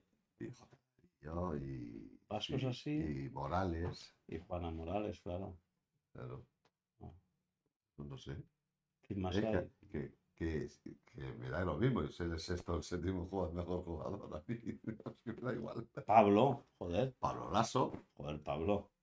Pablo, cuidado que puede estar Pablito ahí eh, claro. entre los tres, ¿eh? mejores. Joder, Pablo, miras el historial de Pablo. Ojo, tiene un super historial. eh. Jugó en hasta en Italia, yo creo la Benetton de ¿En la Benetton Treviso. estuvo? sí. En Italia seguro. No sé si fue la Benetton de Treviso. También estuvo en Estados Real Unidos, Madrid, alguna Pero universidad. estu- no, estuvo, y- no, fue no estuvo universidad. Fue a High school. school. Sí, sí, fue un año con 16 añitos antes de, de- de universidad. ¿no? Porque él después ya eh, ficha por Basconia y debuta muy jovencito, con 17 años. O sea, y no, ya no se va, no se va. Eh, Siro, aparezco para chiquitear el domingo y comeré con un amigo en Bilbo.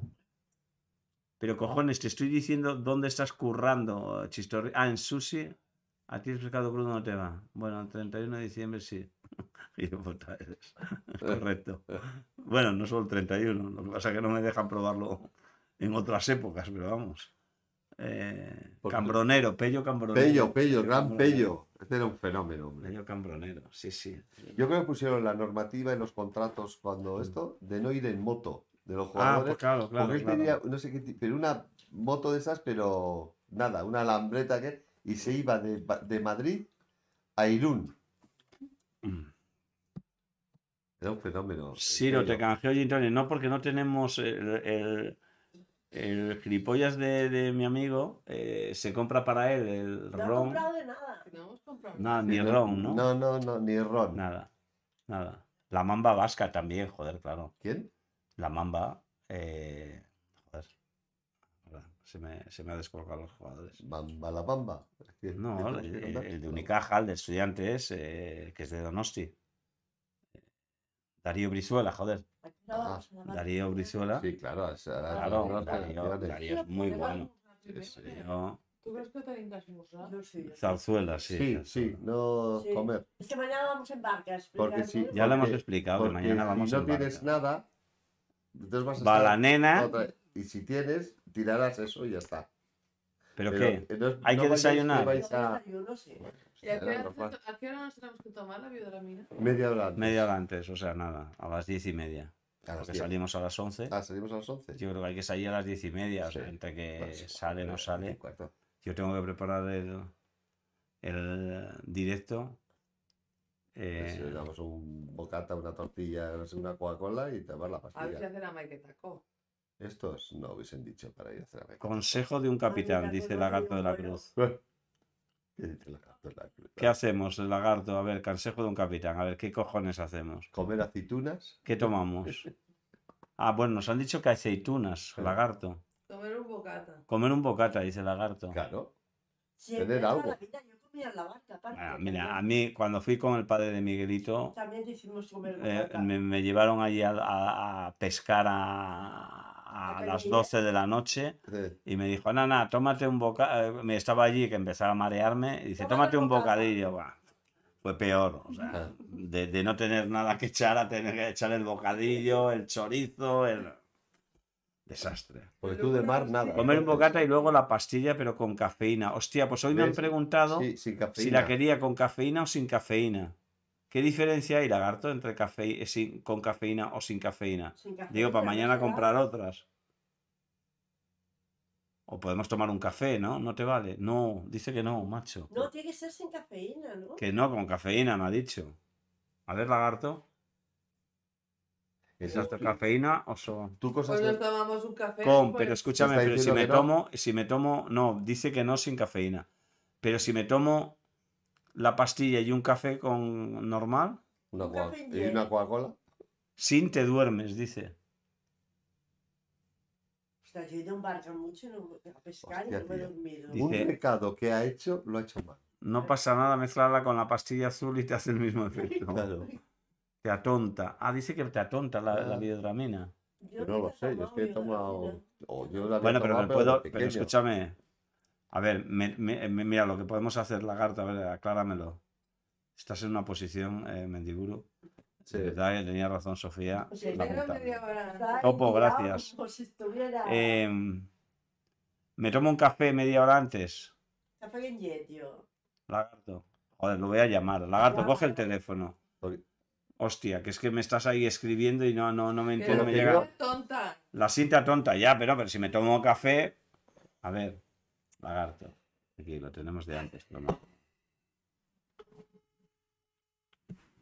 Hola, querido. Hola, Hola querido.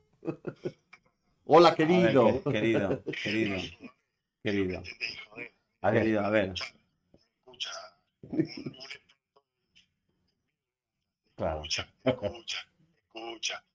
Media horita antes, Sí. ¿vale? Os coméis un bocata, te tomas un café, una Coca-Cola, lo que quieras, ¿vale? Vale. Y te metes una, una pastilla, pero con cafeína. Porque la sin cafeína te atonta, te deja medio adormilado. Es especial para eso. La sin que- cafeína es para dejarte medio atontado si vas en un barco como turista que quieres dormir, ¿vale? Claro, Pero la con cafeína te va a tener despierto. eso y es. te da exactamente con cafeína. Media hora después, te comete el bocadillo y no te vas a marear. Te lo digo A porque cambiarlas. nosotros lo hacíamos así, lo hacíamos así cuando hacíamos, íbamos a pescar las regatas largas, que te pegabas unos cebollazos de, de cojones, pues te, te- es lo mejor, ¿vale? Vale, vale, vale. Vale, maestro. Vale, maestro. Y una vez más has cumplido tu palabra de venir, que te den por el culo, lagarto de la cruz. Todavía hay tiempo. Eres un hay calzonazos, eres un calzonazo desde que te levantas hasta Mira, te voy a decir una cosa. ¿Quién Ahora te ha visto y quién te para ve? ir, para ir, y llegar ahí y resultar que no hay ni ron, ni ginebra. Llego de todo a casa. Ahí tienes razón. Sí, sí, toda la razón te doy. Bueno, ¿A que bueno. sí? Pero tú sabes que dices, estoy llegando y vamos, Vamos. está la casa llena ya. Además es que no tenemos nada de bebida aquí porque ya nos tomamos suficiente Ahora, fuera. Yo te digo una cosa, ¿eh? Estoy aguantando para dormirme porque dejaros a vosotros dos solos sin estar uno es un peligro, macho. Le estaba, le estaba diciendo a Siro, sigue el lagarto conectado porque vamos a contar cuatro cosas. ¿eh? Por eso no me voy. Es como los yungui que están ahí, hay que estar. Hay que estar. Están muertos. Están muertos, vamos. Te sacan, el, te sacan el cuero y hoy llevan el mismo camino. ah, soy cojonudo, soy cojonudo. Soy cojonudo. Sí, ver, ah, Somos los únicos que mantenemos. A uno de Bilbao. El bichito este le va a dar por culo, ¿qué coño? El bichito ese es una puta mierda. que- Hombre, vamos. Hacemos tortilla de patatas con el bicho. Exactamente, a tomar todo el culo. Culo. Oye, Bueno, ¿te, eres- te ha llamado no, Aito para que vayas de segundo con él a Girona o no? No, no me, habéis, no me habíais entendido cuando tú, claro, lo que pasa es que como van entrando los mensajes así, cuando Claro. dijo, cuando dijo Mendy, Aito me dio viernes, sábado, domingo, lunes, fiesta, y yo le puse a cambio A de qué. Exactamente. Ay, tirando con bala, tirando con bala. Sí, sí. Que nunca hemos Mucha- hecho nada. Mucha boquita, mucha boquita. Y dejar de meteros con la señora ya, ¿eh? Ya me estás provocando. Que me lo. Ahí la, la Sebastián. y,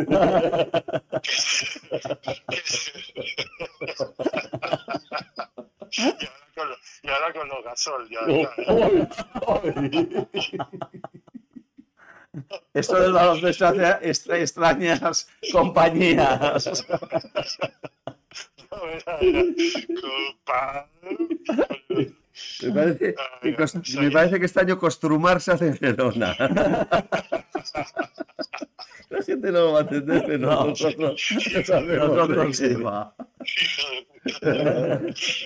Bueno, bueno. Que no deje, que no degenere esto, ¿eh? Oye, Oye, y me parece, quieres, dime. me parece que Burberry también con las gabardinas me parece que va a Gerona. Con Germán González. González. Y hasta aquí, ya está. Y hasta aquí Fuera. podemos leer, ya. Venga, cabrón. Bueno, que nos tiras de la lengua. Que tengo que tomar la biodramina. No hagáis, no hagáis burillas con los dedos de los pies. De.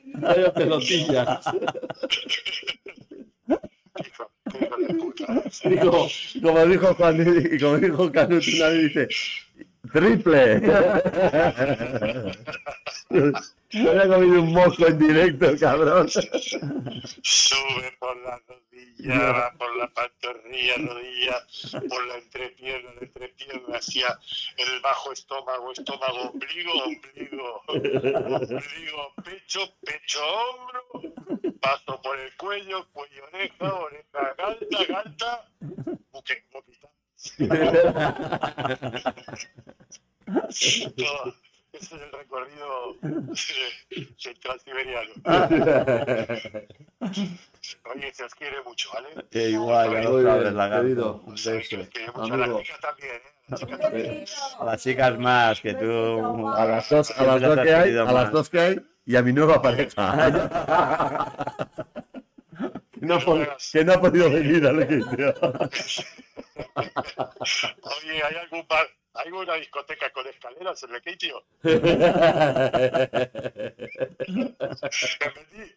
sí, hay una. Hay una. Ah. Bueno, bueno.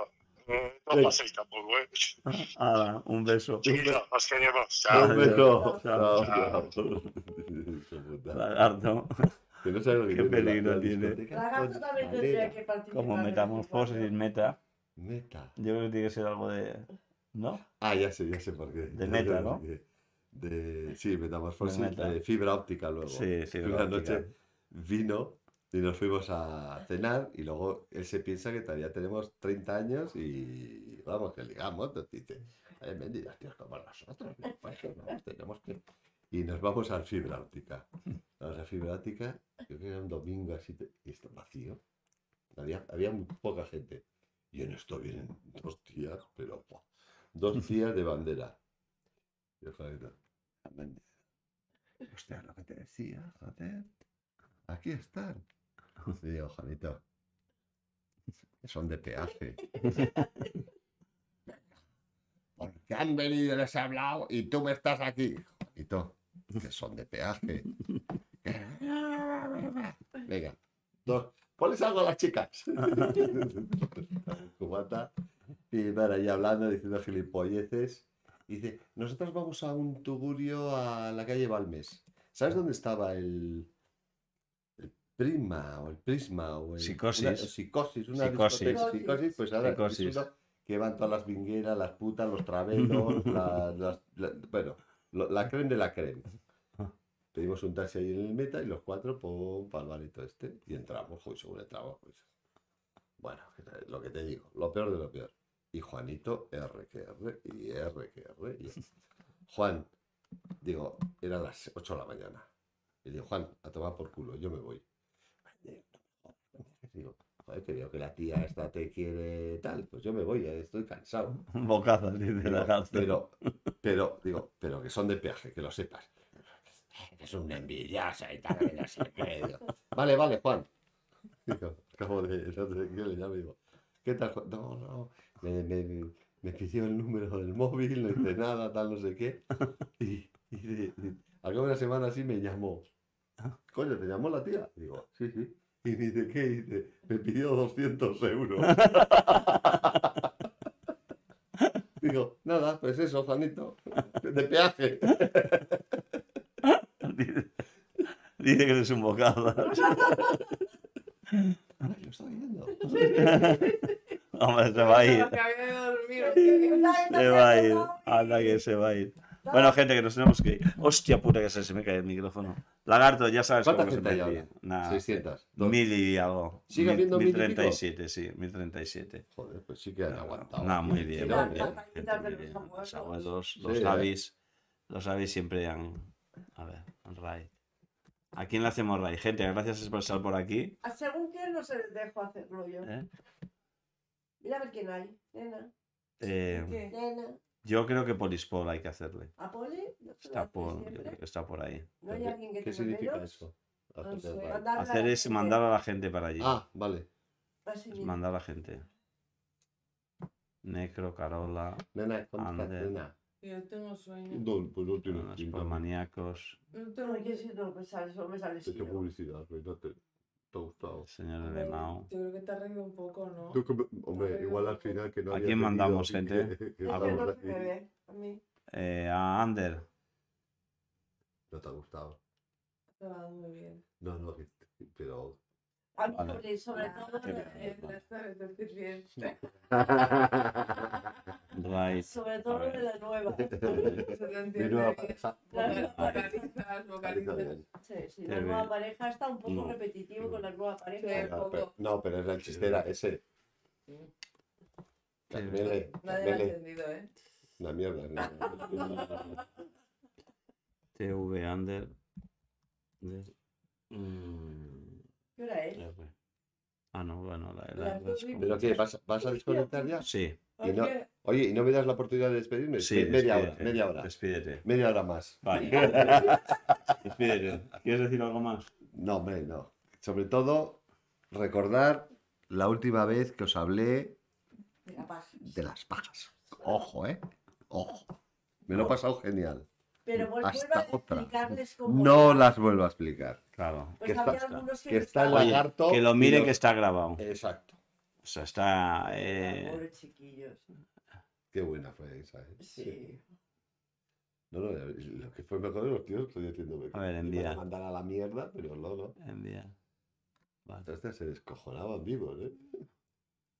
Que. mm, Bueno, que está, vamos ¿ha estado al bien o qué? Eh, Chistorrita, ve- vente para aquí, vente a. Si estás en Bilbo mañana, pues te vienes a tomar una, unas cervezas y te vienes para aquí. Si estás a las diez y media del Lekeitio, vienes en, la- vienes en el barco Vienes en la barca. Claro, si te vienes a las diez y media, mañana te subimos en la barca. Y Alfredo igual. No, ya no. Ya no. ¿y cómo sabemos que Voy es a chistorrita? Exacto. ¿Cómo Eh. sabes que es Chistorrita? conoce Hombre. Chistorrita vendrá, eh, Chistorrita ya sabemos que esto. Bueno, sino que salga con la Chistorrita. ¿no? Claro. Haremos una Si no da chistorrita, no a tocar. ¿Por qué sube tan poco? Iremos ahí con el metro y de. "Mm, Tú no eres Chistorrita. Proposiciones rechazables. Mañana trabajo chato. Así es verdad que trabaja los, los solo libro Hasta el domingo y lunes. Pues vente el domingo a hacer un chiquiteo. Él se queda a dormir aquí. Hay cama. Gracias, Sofía, guapetona. Claro que ¿pero sí, ¿Lo sí. conocéis o no? Pues, ¿Por qué sube tan poco esto? Bueno, esto ya se acaba. ¿vale? Yo he tenido ya dormido Que un beso, que se os quiere. Mañana acordaros, eh, diez y media empezaremos el directo. Sí, Adiós, sí. que Si no estás- si no estás estoy mareado. cao. Adiós.